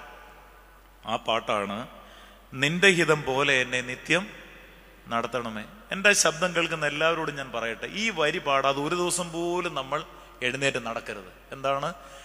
എന്റെ ദൈവമേ ഞാൻ പല വഴികളിലൂടെ പോകും. പക്ഷെ എന്റെ ദൈവത്തിന് ഇഷ്ടമില്ലാത്ത ഒരു വഴികളിലൂടെ നടന്നിട്ട് പിന്നീട് എന്റെ ദൈവാനുഗ്രഹവും ദൈവികവും നഷ്ടപ്പെടാൻ ഇടയാകാതെ അതുകൊണ്ട് ഞാൻ എവിടെ പോകുമ്പോഴും എന്റെ യേശുവിന്റെ വഴിയിലൂടെ മാത്രമേ പോകാവൂ. എനിക്ക് എന്റെ ഒരു സുഹൃത്തായ ഒരു അച്ഛൻ പറഞ്ഞു തന്ന ഒരു പ്രാർത്ഥന. അച്ഛൻ സ്വന്തമായിട്ട് എഴുതിയതാണ്. അച്ഛൻ എനിക്ക് പറഞ്ഞു തന്ന അച്ഛ മൂന്ന് ആക്സിഡന്റ് എനിക്ക് കഴിഞ്ഞു. മൂന്നാമത്തെ ആക്സിഡന്റിൽ ഞാനൊരു പ്രാർത്ഥന എഴുതി ഉണ്ടാക്കി ആ പ്രാർത്ഥന എന്തോന്ന് അറിയാമോ എന്റെ യേശുവേ ഞാൻ ഏതെങ്കിലും ഒരു വഴി തിരഞ്ഞെടുക്കുമ്പം ആ വഴി എന്റെ ദൈവത്തിന് ഇഷ്ടമല്ലെങ്കിൽ അതിനു മുമ്പ് നീ എനിക്കൊരു തടസ്സം തരണം. അർത്ഥം മനസ്സിലായോ? ഞാൻ ഏതെങ്കിലും ഒരു വഴിയിലൂടെ പോകുമ്പം ആ വഴി എന്റെ യേശുവിന് ഇഷ്ടമല്ലെങ്കിൽ അതിനു മുമ്പ് നീ എനിക്കൊരു തടസ്സം തരണം. അത് വലിയൊരു വിളിയാണ്. ഇപ്പം നമ്മൾ പലപ്പോഴും ഇതൊന്നും നോക്കാതാ പോകുന്നത്. അതുകൊണ്ടാണ് ഞാൻ പറഞ്ഞത് കമ്മിറ്റ് ടു ആർ വേറ്റ് ഇതിലോട് എന്റെ ആദ്യത്തെ പോയിന്റ് ആയിട്ടുള്ളൂ. യേശു പത്രോസിനെ യാക്കോവിനെ യോഹന്നാനെയും കൂട്ടിക്കൊണ്ട് പ്രാർത്ഥിക്കാൻ മലയിൽ പോയി. അപ്പോൾ ആ ആദ്യത്തെ പോയിന്റ് ഇതാണ് പ്രാർത്ഥിക്കാൻ കടന്നു വരുമ്പോൾ മറ്റുള്ളവരെ കൂട്ടിക്കൊണ്ട് വരിക. ആ കൂട്ടിക്കൊണ്ട് വരണമെങ്കിൽ മൂന്ന് പ്രധാനപ്പെട്ട ആശയങ്ങൾ ഞാൻ പറഞ്ഞു. ഒന്ന് ട്രസ്റ്റ് ഇൻ ദി ലോഡ് ദൈവത്തിൽ ആശ്രയിക്കണം. രണ്ട് ഡിലേറ്റ് ഇൻ ദി ലോഡ് ദൈവത്തിൽ ആനന്ദിക്കണം. മൂന്ന് commit to your way the Lord ദൈവത്തിന്റെ വഴികളിലൂടെ സമർപ്പിക്കണം. അപ്പോൾ ആദ്യത്തെ ആശയം മറ്റുള്ളവരെ ദൈവസ്ഥാനത്തിലേക്ക് കൂട്ടിക്കൊണ്ടുവരുന്ന കടപ്പാട്. രണ്ടാമത്തെ ഭാവം പ്രാർത്ഥനയുടെ രണ്ടാമത്തെ ഭാവമാണ് ഒരു ഉയർന്ന മലയിലേക്ക് മാറി. എപ്പോഴും പ്രാർത്ഥിക്കാൻ വരുമ്പോഴേ നമ്മുടെ ശീമാ നമസ്കാരത്തിൽ ഒരു പാട്ടുണ്ട്. പ്രാർത്ഥിപ്പാ നീ നിൽക്കുമ്പോൾ സന്താപത്തോടെ ഗാഗ്രം ചിന്തകളെ കടിഞ്ഞാണിട്ട് ചിത്തത്തിൽ നിർത്തിയിടേണം. നിൻവായ് ധൂപത്തിൻ കാലശം നിന്നതരം ധൂപം ഹൃത്യം ദൈവത്തെ പ്രീണിപ്പിക്കും. നാവോ ശുശ്രൂഷക്കാരൻ രണ്ടാമത്തെ പ്രാർത്ഥനയുടെ ഭാവമാണ് നമ്മുടെ മനസ്സും ശരീരവും എല്ലാം ഒരു ഉയർന്ന മലയിലേക്ക് മാറണം. മസുമൂറ ചൊല്ലുന്നുണ്ടല്ലോ ഞാൻ എന്റെ കണ്ണ് പർവതത്തിങ്കിലേക്ക് ഉയർത്തും. എന്റെ സഹായം എവിടെ നിന്ന് വരും? എന്റെ സഹായം ആകാശവും ഭൂമി സൃഷ്ടിച്ച യഹോവയുടെ സനലിൽ നിന്ന്. നമുക്ക് ഈ പ്രാർത്ഥിക്കുമ്പോൾ കണ്ണ് മുകളിലോട്ട് പോകാത്ത എന്താണെന്നറിയാമോ? ആ പ്രാർത്ഥനയുടെ ശക്തി തിരിച്ചറിഞ്ഞുകൂടാത്തത് കൊണ്ടാണ്. ഇപ്പം നമ്മൾ ഇവിടെ ദൈവമേ നിന്ന് വിളിക്കുന്നു. പക്ഷെ ആ വിളിക്കിച്ച് വേദന കൂടും. എപ്പോഴാണ് നമ്മുടെ കുഞ്ഞിന് രോഗം വരട്ടെ. ഒരു ആക്സിഡന്റ് വരട്ടെ. അപ്പോൾ എപ്പം പ്രാർത്ഥിക്കുമ്പോൾ ഓർക്കണം every action has equal and opposite reaction നമ്മൾ എപ്പോഴും പ്രാർത്ഥിക്കുമ്പോഴും നമ്മളെ പിടിച്ചു വലിക്കുന്ന ഒത്തിരി ശക്തികൾ വരും. എന്നോട് ഇപ്പൊ നൈനാൻ ബി കുറിയകോസിന് ഇവിടെ ഇരിപ്പുണ്ട്. അച്ഛൻ അയർലൻഡിലാണ് ഞങ്ങൾ ഈ അച്ഛന്മാരോടൊക്കെ പലരും പറയുന്ന മെയിൻ ഒരു വിഷയമുണ്ട്. അതായത് അച്ഛ പ്രാർത്ഥിക്കാനിരിക്കുമ്പോഴാണ് എന്റെ മനസ്സ് മുഴുവൻ മാറുന്നത്. അത് വളരെ കറക്റ്റാണ് കാരണം പിശാചിന് ഇഷ്ടമില്ലാത്ത മൂന്ന് കാര്യമുണ്ട്. ഒന്ന് നൊയമ്പെടുക്കുന്നത്. രണ്ട് വേദോസ്വം വായിക്കുന്നത്. മൂന്ന് പ്രാർത്ഥിക്കുന്നത്. ഒരു കാര്യം കൂടെ ഉണ്ട് പള്ളി പണിയുന്നത്. മനസ്സിലായോ? ഈ നാല് കാര്യം പിശാചിന് ഇഷ്ടമല്ല. എന്തൊക്കെയാ? പള്ളി പണിയുന്നത് വേദോത്സവം വായിക്കുന്നത് നോയമ്പെടുക്കുന്നത് പ്രാർത്ഥിക്കുന്നത്. ഈ നാല് സമയം ഏറ്റവും കൂടുതൽ വഴക്കുണ്ടാവുന്ന വലിയ നോയമ്പിലായിരിക്കും. ഞങ്ങൾക്ക് സെമിനാരിയിൽ അച്ഛന്മാർ പറഞ്ഞു തരാറുണ്ട് ഫാക്കൽറ്റിയിൽ. അതായത് നോയമ്പെടുക്കുമ്പോൾ വളരെ സൂക്ഷിച്ചോണം. നിങ്ങളുടെ പ്രതിയോഗിയായ പിശാജ് അലർന്ന സിംഹം പോലെ ആരെ വിഴുങ്ങണമെന്ന് പറഞ്ഞ് നടക്കുക. അപ്പം നോയമ്പെടുക്കുമ്പോൾ പിശാജ് വരും. പള്ളി പണിയുമ്പോഴോ കണ്ടിട്ടുണ്ടോ? ഒരു കാര്യം ചെയ്യാൻ സമ്മതിക്കാത്ത ചില ആൾക്കാരുണ്ട് പള്ളിയിൽ. ഇവൻ പള്ളി ഗുണപ്പെടുത്തത്തുമില്ല ഇവനൊട്ട് ചെയ്യത്തുമില്ല. ഇങ്ങനെ ഒരുപാട് പേരുണ്ട്. ഇനി മൂന്നാമതൊന്നുണ്ട് ഈ നൊയമ്പെടുക്കുമ്പോൾ നമ്മുടെ സ്ത്രീകളൊക്കെ കണ്ടിട്ടുണ്ട് കുറേ ഏറെ പേർ അച്ഛ ഈ പ്രാവശ്യം വലിയ നൊയമ്പ് ഞാൻ കൃത്യമായിട്ട് അങ്ങ് എടുക്കും. ആ നൊയമ്പെടുക്കുന്നതിന് പത്ത് ദിവസം മുമ്പേ അങ്ങ് വാചകമാണ് ഞാൻ നൊയമ്പെടുക്കും നൊയമ്പെടുക്കും നൊയമ്പെടുക്കും പറഞ്ഞു പറഞ്ഞു പറഞ്ഞു വലിയ നൊയമ്പ് തുടങ്ങും. വലിയ നൊയമ്പ് തുടങ്ങി ഒരാഴ്ച കഴിഞ്ഞ് അങ്ങോട്ട് ഇരിക്കുമ്പോഴാണ് മാവിയുടെ മോന്റെ കല്യാണം. കല്യാണത്തിന് പോയിരിക്കും. പോയി ഇരിക്കുമ്പോഴാണ് നമ്മുടെ പന്തിയിൽ പാവയ്ക്കയും പടവലങ്ങയും അച്ചടിയൊക്കെ വിളമ്പും ഓപ്പോസിറ്റ് സൈഡിൽ ചിക്കൻ വറുത്തതും മട്ടൻ വേവിച്ചതും കാണാൻ ഭംഗിയുള്ളതും തിന്നാൻ രുചിയുള്ളതുമായിട്ടുള്ള ഏതേം തോട്ടത്തിൽ അനുഭവം വരും. ഉടനെ അവിടെ വച്ച് അമ്പാലിടും. ഇനി പാതി നോമ്പ് കഴിയട്ടെ. മനസ്സിലായോ? പാതി നോമ്പ് കഴിയട്ടെ. പാതി നോമ്പ് കഴിയുമ്പോഴായിരിക്കും ഇവർക്ക് വിരുന്ന് കൊടുക്കുന്നത്. വീണ്ടും നോയമ്പ് ഏറ്റിക്കും പ്രിയമുള്ളവരെ ഇങ്ങനെയുള്ളയല്ല ഇന്ദ്രിയജയം എന്ന് പറയുന്നത് മാത്യുസ്ലിയം ബാബായുടെ ഒരു അനുഭവം ഞാൻ കേട്ടിട്ടുണ്ട്. തിരുമേനിക്ക് കരിമീനും കപ്പയും ഭയങ്കര ഇഷ്ടമാണ്. ഏതോ ഒരു പള്ളിയിലെ ഒരു സ്ത്രീ നന്നായിട്ട് കരിമീനും കപ്പയും കൂടെ പാകം ചെയ്ത് കൊടുത്തു. മൂന്ന് മണിവരെ ഒന്നും കഴിക്കാതെ വന്നിട്ട് തിരുമേനി ഈ കരിമീൻ കഴിക്കാൻ തുടങ്ങിയിട്ട് പെട്ടെന്ന് അങ്ങ് വേണ്ടാന്ന് വെച്ചു. ഉടനെ ഈ സ്ത്രീക്ക് ഭയങ്കര വിഷമമായിപ്പോയി കാരണം വല്ല മുടി എങ്ങാണോ അതിൽ കിടന്നോ ഈ തിരുമേനിയുടെ കാലെ പിടിച്ചു ചോദിച്ചു എന്താ തിരുമേനി കരിമീൻ ഞാൻ ഉണ്ടാക്കിയിട്ട് കഴിക്കാഞ്ഞെന്താ മോളെ ഞാൻ അതുകൊണ്ടല്ല കഴിക്കാഞ്ഞത്. അതായത് ഇത് കഴിക്കാൻ തുടങ്ങിയപ്പോഴത്തേക്ക് കരിമീന്റെ മണം എന്റെ മൂക്കിലോട്ട് കയറി എനിക്ക് ഭയങ്കര ആർത്തി തോന്നി. അതുകൊണ്ട് ഞാൻ വേണ്ടാന്ന് വെച്ചെന്ന്. മനസ്സിലായില്ലേ? ഇതാണ് ഇന്ദ്രിയജയം. ഇതാണ് ഇന്ദ്രിയജയം. ഇപ്പം നമുക്ക് എന്ത് വേണമെന്ന് വിചാരിക്കുന്നു അത് വേണ്ടാന്ന് വെക്കുക. ഇപ്പം നമ്മൾ ഈ ലോകത്തിലോട്ടങ്ങ് ഇറങ്ങി നോക്കി എല്ലാം എവർലാസ്റ്റിംഗ് ആയിട്ടുള്ള തുണിയായാലും സ്വർണമായാലും ആഹാര സാധനങ്ങളായാലും ഇപ്പം ഏതെങ്കിലും ഹൈവേ കൂടെ പോയി നോക്കി ഏറ്റവും കൂടുതൽ ഹോട്ടലുകൾ അതിന്റെ മണം കയറിയാൽ തന്നെ അങ്ങ് പോകും. നോയമ്പെല്ലാം പോകും. അപ്പോൾ ഇത് ഓർക്കണം ഇനി ഇതിന് വേറൊരു വരി കൂടി നമ്മുടെ ആൾക്കാരെ ചിലർ വന്ന് പഠിപ്പിക്കുന്നുണ്ട്. നൊയമ്പ് നോക്കാതിരിക്കും എന്തെന്നറിയാമോ? അകത്തോട്ട് പോകുന്നു മനുഷ്യനെ നിങ്ങൾക്കറിയാം സ്ത്രീകൾക്കല്ല ഈ വാക്യം അറിയാം. ഒന്ന് പറഞ്ഞാട്ട് അകത്തോട്ട് പോകുന്നു മനുഷ്യനെ അശുദ്ധനാക്കില്ല. ഞാൻ ചോദിക്കട്ടെ അങ്ങനെയാണെങ്കിൽ ആദ്യ മനുഷ്യൻ തെറ്റിയത് എങ്ങനെയാ അകത്തോട്ട് പോയത് തന്നെ. അന്നമാണ് ഔഷധം അന്നമാണ് രോഗം. നമ്മൾ ഈ നൊയമ്പുകൾ കൃത്യമായി എടുത്തിരിക്കണം. അതുകൊണ്ട് ആ തിരുവചനം പറയുന്നത് ഉപവാസത്താലും പ്രാർത്ഥനയാലും അല്ലാതെ ഈ വ്യാധി നീങ്ങിപ്പോകില്ല. പ്രിയമുള്ളവരെ നിങ്ങളുടെ ഡയറിയിലോ ബൈബിളിലോ ഞാൻ എഴുതി ഒപ്പിട്ട് തരാം. ഞാൻ അടുത്തിടെ വരെ വല്ലപ്പോഴും ഉച്ചയ്ക്ക് വെള്ളിയാഴ്ച ദിവസം ഉച്ച വരെ ഉപവസിക്കും. ഈ കഴിഞ്ഞ രണ്ടു മാസമായി ഉപവസിക്കുമ്പോൾ ഇരുപത്തിനാല് മണിക്കൂർ. ഉപവസിക്കുന്ന വെളി പറഞ്ഞൂടെ എങ്കിലും നിങ്ങളിൽ ആരെങ്കിലും എടുക്കുന്ന എടുക്കട്ടെ എന്നുള്ള ബോധ്യത്തോടെ ഞാൻ പറയാം. ഇരുപത്തിനാല് മണിക്കൂർ വെള്ളം കുടിച്ചുകൊണ്ട് ഉപവസിക്കും എനിക്ക് കിട്ടുന്ന അനുഭവങ്ങൾ എനിക്കത് പറഞ്ഞറിയിക്കാൻ പറ്റുന്നില്ല. എത്ര നെഗറ്റീവ് എനർജി മാറിപ്പോകുന്നറിയാമോ അത് ഇന്ദ്രിയജയം നമ്മൾ സൂക്ഷിക്കണം. സഭയുടെ പിതാക്കന്മാർ വെള്ളം പോലും കുടി വെള്ളം മാത്രം കുടിച്ചുകൊണ്ട് അത് കുടിക്കാതെയും എത്രയോ മണിക്കൂറുകൾ എത്രയോ ദിവസങ്ങൾ ഇരുന്നതുകൊണ്ടാണ് ഈ സഭ ഇന്ന് നിലനിൽക്കുന്നത്. അല്ലാതെ ഇന്നുള്ള തലമുറയുടെ കൊണ്ടല്ല. അപ്പോൾ ദൈവസന്നിധി നമ്മൾ ഓർക്കേണ്ട ഒരു കാര്യമുണ്ട്. ഈ പ്രാർത്ഥനയ്ക്ക് നമുക്കൊരു ഉയർന്ന അനുഭവം മാറണം. അത് ഉപവാസം എടുക്കണം നൊയമ്പെടുക്കണം അതുപോലെ പ്രധാനപ്പെട്ടയാണ് ഈ കുമ്പിടുക. ഇപ്പൊ നമ്മുടെ തിരുമേനിമാരുടെയൊക്കെ കൈമുട്ട് കണ്ടിട്ടുണ്ടോ? എല്ലാം ഗോലി പോലെ കറുത്തിരിക്കും. പക്ഷെ നമ്മുടെ പല ആൾക്കാർക്കും അങ്ങോട്ട് ഇരിക്കാനും വയ്യ നടക്കാനും വയ്യ നിൽക്കാനും വയ്യ. ഇപ്പം പള്ളിയിലൊക്കെ വന്നാൽ ശരിക്കും പള്ളിക്കകത്ത് കസേര ഇടരുതെന്നാ കേട്ടോ. എന്ന് വെച്ചാൽ ഇപ്പം കസേര ഇരിക്കുന്നവരൊന്നും എഴുന്നേറ്റ് പോണ്ട. പള്ളിക്കകത്ത് നമ്മുടെ ആരാധനാ രീതി അനുസരിച്ച് കസേര ഇടരുതെന്ന. പക്ഷെ എന്ത് ചെയ്യാൻ പറ്റും? നമുക്ക് പലർക്കും നടുവേദന ഞാൻ ഉൾപ്പെടെ ഉള്ളവർക്കൊന്നും വയ്യ. പക്ഷെ നമ്മൾ ആലോചിച്ച് നോക്കി ഈ തീരെ നടക്കാനും ഇരിക്കാനും പറ്റാത്തവർ പോകുന്ന വഴിക്ക് ഒരു പേപ്പട്ടി ഓടിച്ചു നോക്കട്ടെ. നമ്മൾ എന്ത് സ്പീഡിൽ ഓടും? ഇപ്പം നമുക്ക് പലർക്കും വയ്യാത്തത് കൊണ്ടല്ല. പക്ഷേ സൗകര്യമില്ലാത്തവർ കസേരകളൊക്കെ ഇരുന്നു. പ്രസംഗത്തെ പക്ഷെ ആരാധനയ്ക്ക് വരുമ്പം തീരെ പ്രയാസമുള്ളവർ കസേരയിലോ ബെഞ്ചിലോ ഇരുന്നാലും ശുശ്രൂഷക്കാർ പറയുന്നുണ്ട് ചൊല്ലുന്ന ശുശ്രൂഷക്കാരുടെ വായന കേട്ടിട്ടില്ലേ? അടക്കത്തോടും ഭയത്തോടും വണക്കത്തോടും വെടുപ്പോടും വിശുദ്ധിയോടും സ്നേഹത്തോടും സത്യവിശ്വാസത്തോടും നല്ല ദൈവഭക്തോടും കൂടെ നിന്നുകൊണ്ട് സക്കായി നിന്നുകൊണ്ട് കുടുംബ പ്രാർത്ഥനയിൽ ഇന്ന് നമുക്ക് പലർക്കും പറ്റുന്ന അബദ്ധം എന്തെന്നറിയാമോ? ഇരുന്നുകൊണ്ട് രണ്ട് പാട്ട് പാടും. ഇരുന്നുകൊണ്ട് വേദോസം വായിക്കും. അവിടെ ഇരുന്ന് തന്നെ പ്രാർത്ഥിച്ച് അവിടെ ഇരുന്ന് വേണമെങ്കിൽ ഉറങ്ങും. ശരിക്കും പാട്ടുപാടി വേദോസം വായിക്കുമ്പോൾ ഇരുന്നു. കുടുംബമായി എഴുന്നേറ്റ് നിന്ന് ആ കുടുംബാരാധന ക്രമമെങ്കിലും നിന്നുകൊണ്ട് നടത്തണം. കുമ്പിടാൻ പറ്റുന്നവർ കുമ്പിടണം. കുമ്പിട്ട് നോക്ക്. അപ്പൊ നമ്മൾക്ക് ഈ പ്രാർത്ഥിക്കുമ്പോഴേ നമ്മുടെ ഒരു ഉയർന്ന നിലവാരം വേണം. ഉയർന്ന മലയിലേക്ക്. യേശു തമ്പുരാന്റെ ഏറ്റവും വലിയൊരു നമുക്ക് കാണിച്ചു തന്ന സവിശേഷത പ്രാർത്ഥനയുടെ രണ്ടാമത്തെ ഭാവം എപ്പോഴും പിതാവുമായിട്ട് സംസാരിച്ചുകൊണ്ടിരുന്നു. യേശു പന്ത്രണ്ട് ശിഷ്യന്മാരെ തെരഞ്ഞെടുത്തു. അതിനു മുമ്പ് എന്തോ ചെയ്തേ? എന്ന് പറഞ്ഞേ.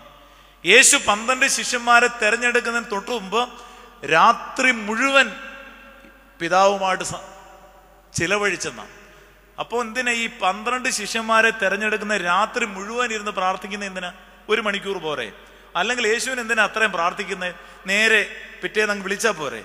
നമ്മൾ ഏതൊരു കാര്യം ചെയ്യുമ്പോഴും ദീർഘനേരം പ്രാർത്ഥന എന്ന് പറയുന്നത് ചിലവഴിക്കുന്നതാ. പണ്ടത്തെ പിതാക്കന്മാർ പറയുന്നതേ നമസ്കാരം കഴിഞ്ഞോന്നല്ല നമസ്കാരം കഴിച്ചോ സൂത്താറ കഴിച്ചോ നോമ്പ് കഴിച്ചോ പിടിച്ചോ ഇതെല്ലാം കഴിക്കുന്നതാ. അല്ലാതെ നടത്താനുള്ളതല്ല ചടങ്ങല്ല. അപ്പോൾ ദൈവസന്നിധിയിൽ എപ്പോഴും നമ്മൾ ഓർക്കേണ്ട ഒരു കാര്യമുണ്ട് പ്രാർത്ഥിക്കുമ്പോൾ ഒരു ഉയർന്ന നിലവാരം വേണം. ഇപ്പോഴും എനിക്കറിയാം. ഇവിടെ ഇരിക്കുന്ന ഒരുപാട് പേരും അക്കൂട്ടത്തിൽ കാണും. എത്ര പണം കൂടിയാലും എത്ര പഠിത്തം കൂടിയാലും കുടുംബമായിട്ട് രാവിലെ തന്നെ ആരാധനയ്ക്കും പള്ളിയിലും വരുന്നവരെനിക്കറിയാം ഇപ്പം ഏഴു മണിക്കാണെങ്കിൽ ആറരയ്ക്ക് അച്ഛനോടൊപ്പം പള്ളി കാണും അവർ. ചില പള്ളിയിലെ ട്രസ്റ്റി സെക്രട്ടറിമാർ ഉൾപ്പെടെ എനിക്കറിയാം. അതുകൊണ്ട് ആ പള്ളിയിൽ ഏത് പ്രയാസമുണ്ടെങ്കിലും ദൈവം അത് മാറ്റി കൊടുക്കും പക്ഷെ മറ്റു ചിലരെ എനിക്കറിയാം. പത്തു മണിക്കാണ് കുർബാന തീരുന്നത്. ഒമ്പതേ മുക്കാലിന് ഒരു കാറും എടുത്തുകൊണ്ട് ഇറങ്ങുന്നത് കുർബാന എപ്പം തീരും? പത്തു മണിക്ക്. ഒമ്പതേ മുക്കാലിൽ ഒരു കാറും എടുത്തുകൊണ്ട് ഇറങ്ങും. എന്നിട്ട് പറയുന്നത് ഞാൻ പള്ളിയിലോട്ടൊന്ന് കയറിയിട്ട് വരട്ടെന്ന് എന്തോ തമ്പര അവിടെ സുഖമല്ലാതെ നടക്കുവാന്നു പള്ളിയിലോട്ട് ആരും കയറാൻ വരരുത്. എന്റെ യഹോവയുടെ ആലയത്തിലോട്ട് പോകാമെന്ന് അവർ എന്നോട് പറഞ്ഞപ്പോൾ എന്റെ ഹൃദയം സന്തോഷിച്ചു. ദൈവമക്കൾ ഇപ്പം തന്നെ നമ്മുടെ പള്ളിയുടെ സ്ട്രക്ചർ നോക്കി ഈ ഭൂമി തലത്തിൽ നിന്ന് പള്ളിയിലോട്ട് കയറാൻ ഒരു സ്റ്റെപ്പ് കയറണം വീണ്ടും വിശുദ്ധ സ്ഥലത്തേക്ക് കയറാൻ വീണ്ടും സ്റ്റെപ്പ് കയറണം മദ്ബഹയിലോട്ട് കയറാൻ വീണ്ടും സ്റ്റെപ്പ് കയറണം. പദവിയിലോട്ട് കയറാൻ വീണ്ടും സ്റ്റെപ്പ് കയറണം. അതിന്റെ അർത്ഥം ഈ സ്റ്റെപ്പിന്റെ ഉയർച്ചയല്ല. അത് പ്രാർത്ഥനയുടെ ഒരു ഉയർന്ന മലയാണ്. അതിന്റെ അർത്ഥം പടികൾ കൊണ്ട് ഉയരുന്നത് മാത്രമല്ല നമ്മുടെ മനസ്സും ചിന്താഗതികളും ഈ സമയത്ത് നമ്മുടെ ബോധങ്ങളും വിചാരങ്ങളും ഹൃദയങ്ങളും മുകളിൽ പിതാവാം ദൈവത്തിന്റെ വലത്തുഭാഗത്ത് മിശിഹാ തമ്പരാൻ എഴുന്നള്ളിയിരിക്കുന്ന മഹോന്നതങ്ങളിലായിരിക്കണം. ഇപ്പോഴും എനിക്കറിയാം പള്ളി വന്നാൽ എല്ലാവരുടെയും കണ്ണ് ക്ലോക്കില്ല പള്ളിയിലെ ഏറ്റവും വലിയ പിശാജ് എന്ന് പറയുന്നത് ക്ലോക്കാ. അറിയാമോ? പള്ളി ക്ലോക്ക് ഇടരുതെന്നാ. ഇനി പള്ളിയിലെ ക്ലോക്ക് എന്ന് പറയുന്നത് ഏതാ? നൊയമ്പിൽ പാടുന്നുണ്ട്. വിജ്ഞാനി നീ മണിയുടെ നാദം കേട്ടാൽ വേഗം സന്തോഷത്താൽ പള്ളിക്കുള്ളിൽ പാഞ്ഞത്തേണം പാവത്തെ പോൽ കൈകൾ മലർത്തി പ്രാർത്ഥിക്കേണം കണ്ണീരുപ്പും ദൈവം നിന്റെ പ്രാർത്ഥന കേൾക്കും പള്ളിയിൽ വരുന്നത് ക്ലോക്ക് നോക്കിയല്ല. പിതാക്കന്മാർ വലിയ നോയമ്പിൽ അതാ പാടിയത്. വിജ്ഞാനി നീ മണിയുടെ നാദം കേട്ടാൽ വേഗം സന്തോഷത്താൽ പള്ളിക്കുള്ളിൽ പാഞ്ഞത്തേണം. പാവത്തെ പോൽ കൈകൾ മലർത്തി പ്രാർത്ഥിക്കേണം. കണ്ണീരൊപ്പം ദൈവം നിന്റെ പ്രാർത്ഥന കേൾക്കും. പള്ളിയിൽ വരുന്നത് ക്ലോക്ക് നോക്കിയല്ല. മണിയടി കേട്ടിട്ടാണ് അത് കേട്ടാൽ പിന്നെ വീട്ടിൽ ഇരിക്കരുതെന്നാ ഇനി എപ്പോഴാ പള്ളി വരാൻ ഒരുങ്ങേണ്ടതാണ് ദൈവമക്കളെ ഞായറാഴ്ച എന്റെ വീടിന്റെ അടുത്ത് ഒരാൾ പള്ളി മണിയടിച്ചപ്പം തോന്നുന്നു ചോദിച്ചു ഇന്ന് പള്ളിയിൽ എന്തോ വിശേഷമൊന്നും? ഇത് ഞായറാഴ്ച പോലും അറിഞ്ഞുകൂടാത്തവരുണ്ട്. ശനിയാഴ്ച വൈകിട്ട് മുതലേ സങ്കീർത്തനങ്ങൾ ആറെണ്ണം വായിക്കണം. ആറ് മുപ്പത്തിരണ്ട് അമ്പത്തൊന്ന് നൂറ്റി രണ്ട് നൂറ്റി ഇരുപത്തി ഒമ്പത് നൂറ്റി നാൽപ്പത്തിരണ്ട് അൻപത്തൊന്നാം സങ്കീർത്തനം മൂന്ന് പ്രാവശ്യം ചൊല്ലാതെ ഒരു വൈദികന് മദ്ബാഹിൽ കയറാൻ കുർബാനയ്ക്ക് കയറാൻ അനുവാദമില്ല. സന്ധിക്ക് പ്രഭാതത്തിൽ തുയ്യോബയ്ക്ക് കയറുമ്പം നമ്മളും മൂന്ന് പ്രാവശ്യം വായിക്കണം. ശനിയാഴ്ച വൈകിട്ടിരുന്ന് ടി വി കാണരുത്. പത്രം വായിക്കരുത്. ഞായറാഴ്ച രാവിലെ ഞാൻ വീണ്ടും ചോദിക്കട്ടെ? ഞായറാഴ്ച രാവിലെ ആദ്യം പറയേണ്ട വാചകം എന്തുവാ? ഒരു പള്ളി പറഞ്ഞപ്പോൾ ഒരു അപ്പച്ചൻ പറഞ്ഞു ഒരു കപ്പ് കാപ്പി കൊണ്ട് പാടിയെന്നാണ് ഞായറാഴ്ച രാവിലെ ആദ്യം പറയേണ്ട വാചകമാണ് ആദ്യം മുതൽ എന്നേക്കും തന്നെ ആമീൻ. കാര്യം ഞായറാഴ്ച ഒന്നും മിണ്ടരുത്. സെമിനാരി ഞങ്ങൾക്ക് ഞായറാഴ്ച സംസാരിച്ച പത്ത് രൂപ ഫൈൻ അടയ്ക്കണം.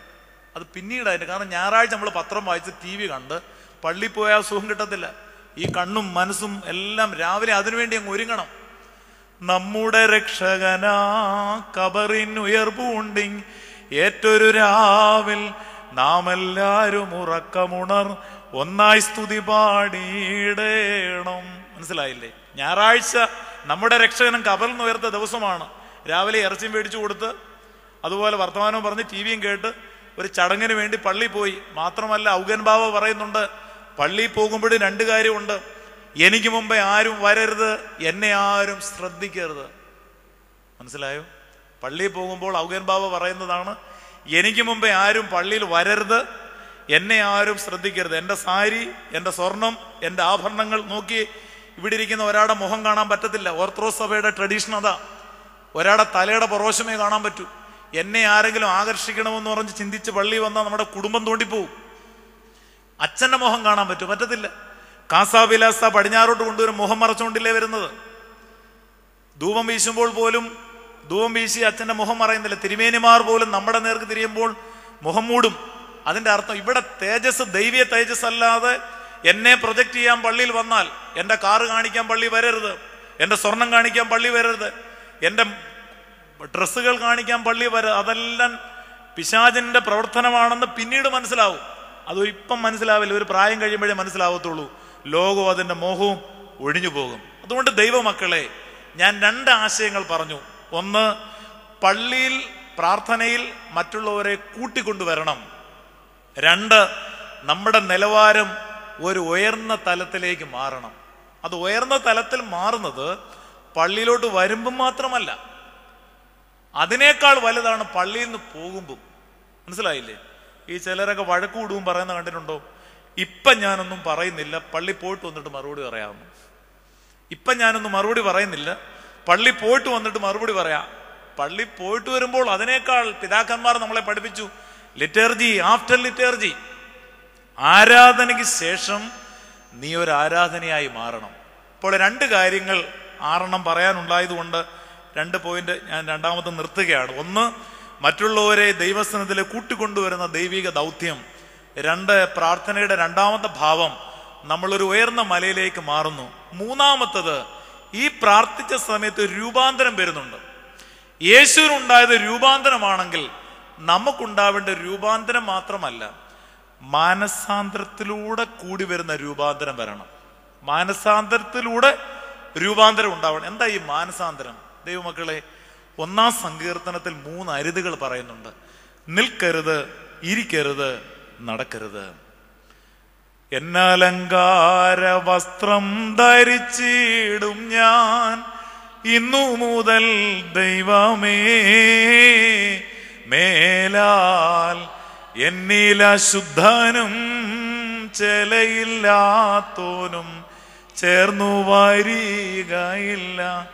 ഞാൻ പരിശുദ്ധ ദേവാലയത്തിൽ വന്ന് വൈദികന്റെ കൈകൊണ്ട് ഞാൻ കുർബാന കൊണ്ടു. ഞാൻ പ്രസംഗം കേട്ടു. ദൈവമേ ഇനിയെങ്കിലും ഞാൻ എന്റെ പഴയ വഴിക്ക് പോകരുത്. എബ്രായ ലേഖനം ആറാം അധ്യായത്തിന്റെ നാലാമത്തെ വാക്യം. ഒരിക്കൽ പ്രകാശനം ലഭിച്ചിട്ട് സ്വർഗീയദാനം ആസ്വദിക്കുകയും പരിശുദ്ധാത്മാവിനെ പ്രാപിക്കുകയും ദൈവത്തിന്റെ നല്ല വചനങ്ങളും വരാനുള്ള ലോകത്തിന്റെ ശക്തിയെക്കുറിച്ച് തിരിച്ചറിഞ്ഞവർ പിന്മാറിപ്പോയാൽ ഉള്ളിൽ ക്രിസ്തുവിനെ ക്രൂശിക്കുന്നവരായിരിക്കും. ഇപ്പൊ നിങ്ങൾക്കറിയാമോ? നമ്മൾ ഓരോ കുർബാനയ്ക്കും പ്രബോധനത്തിനും കടന്നു വരുമ്പോഴും നമുക്ക് ഒരു ഒരുപാട് ശക്തിയും കൃപയും കിട്ടുന്നുണ്ട്. പക്ഷെ അത് മുഴുവൻ തകർത്ത് കളയാം.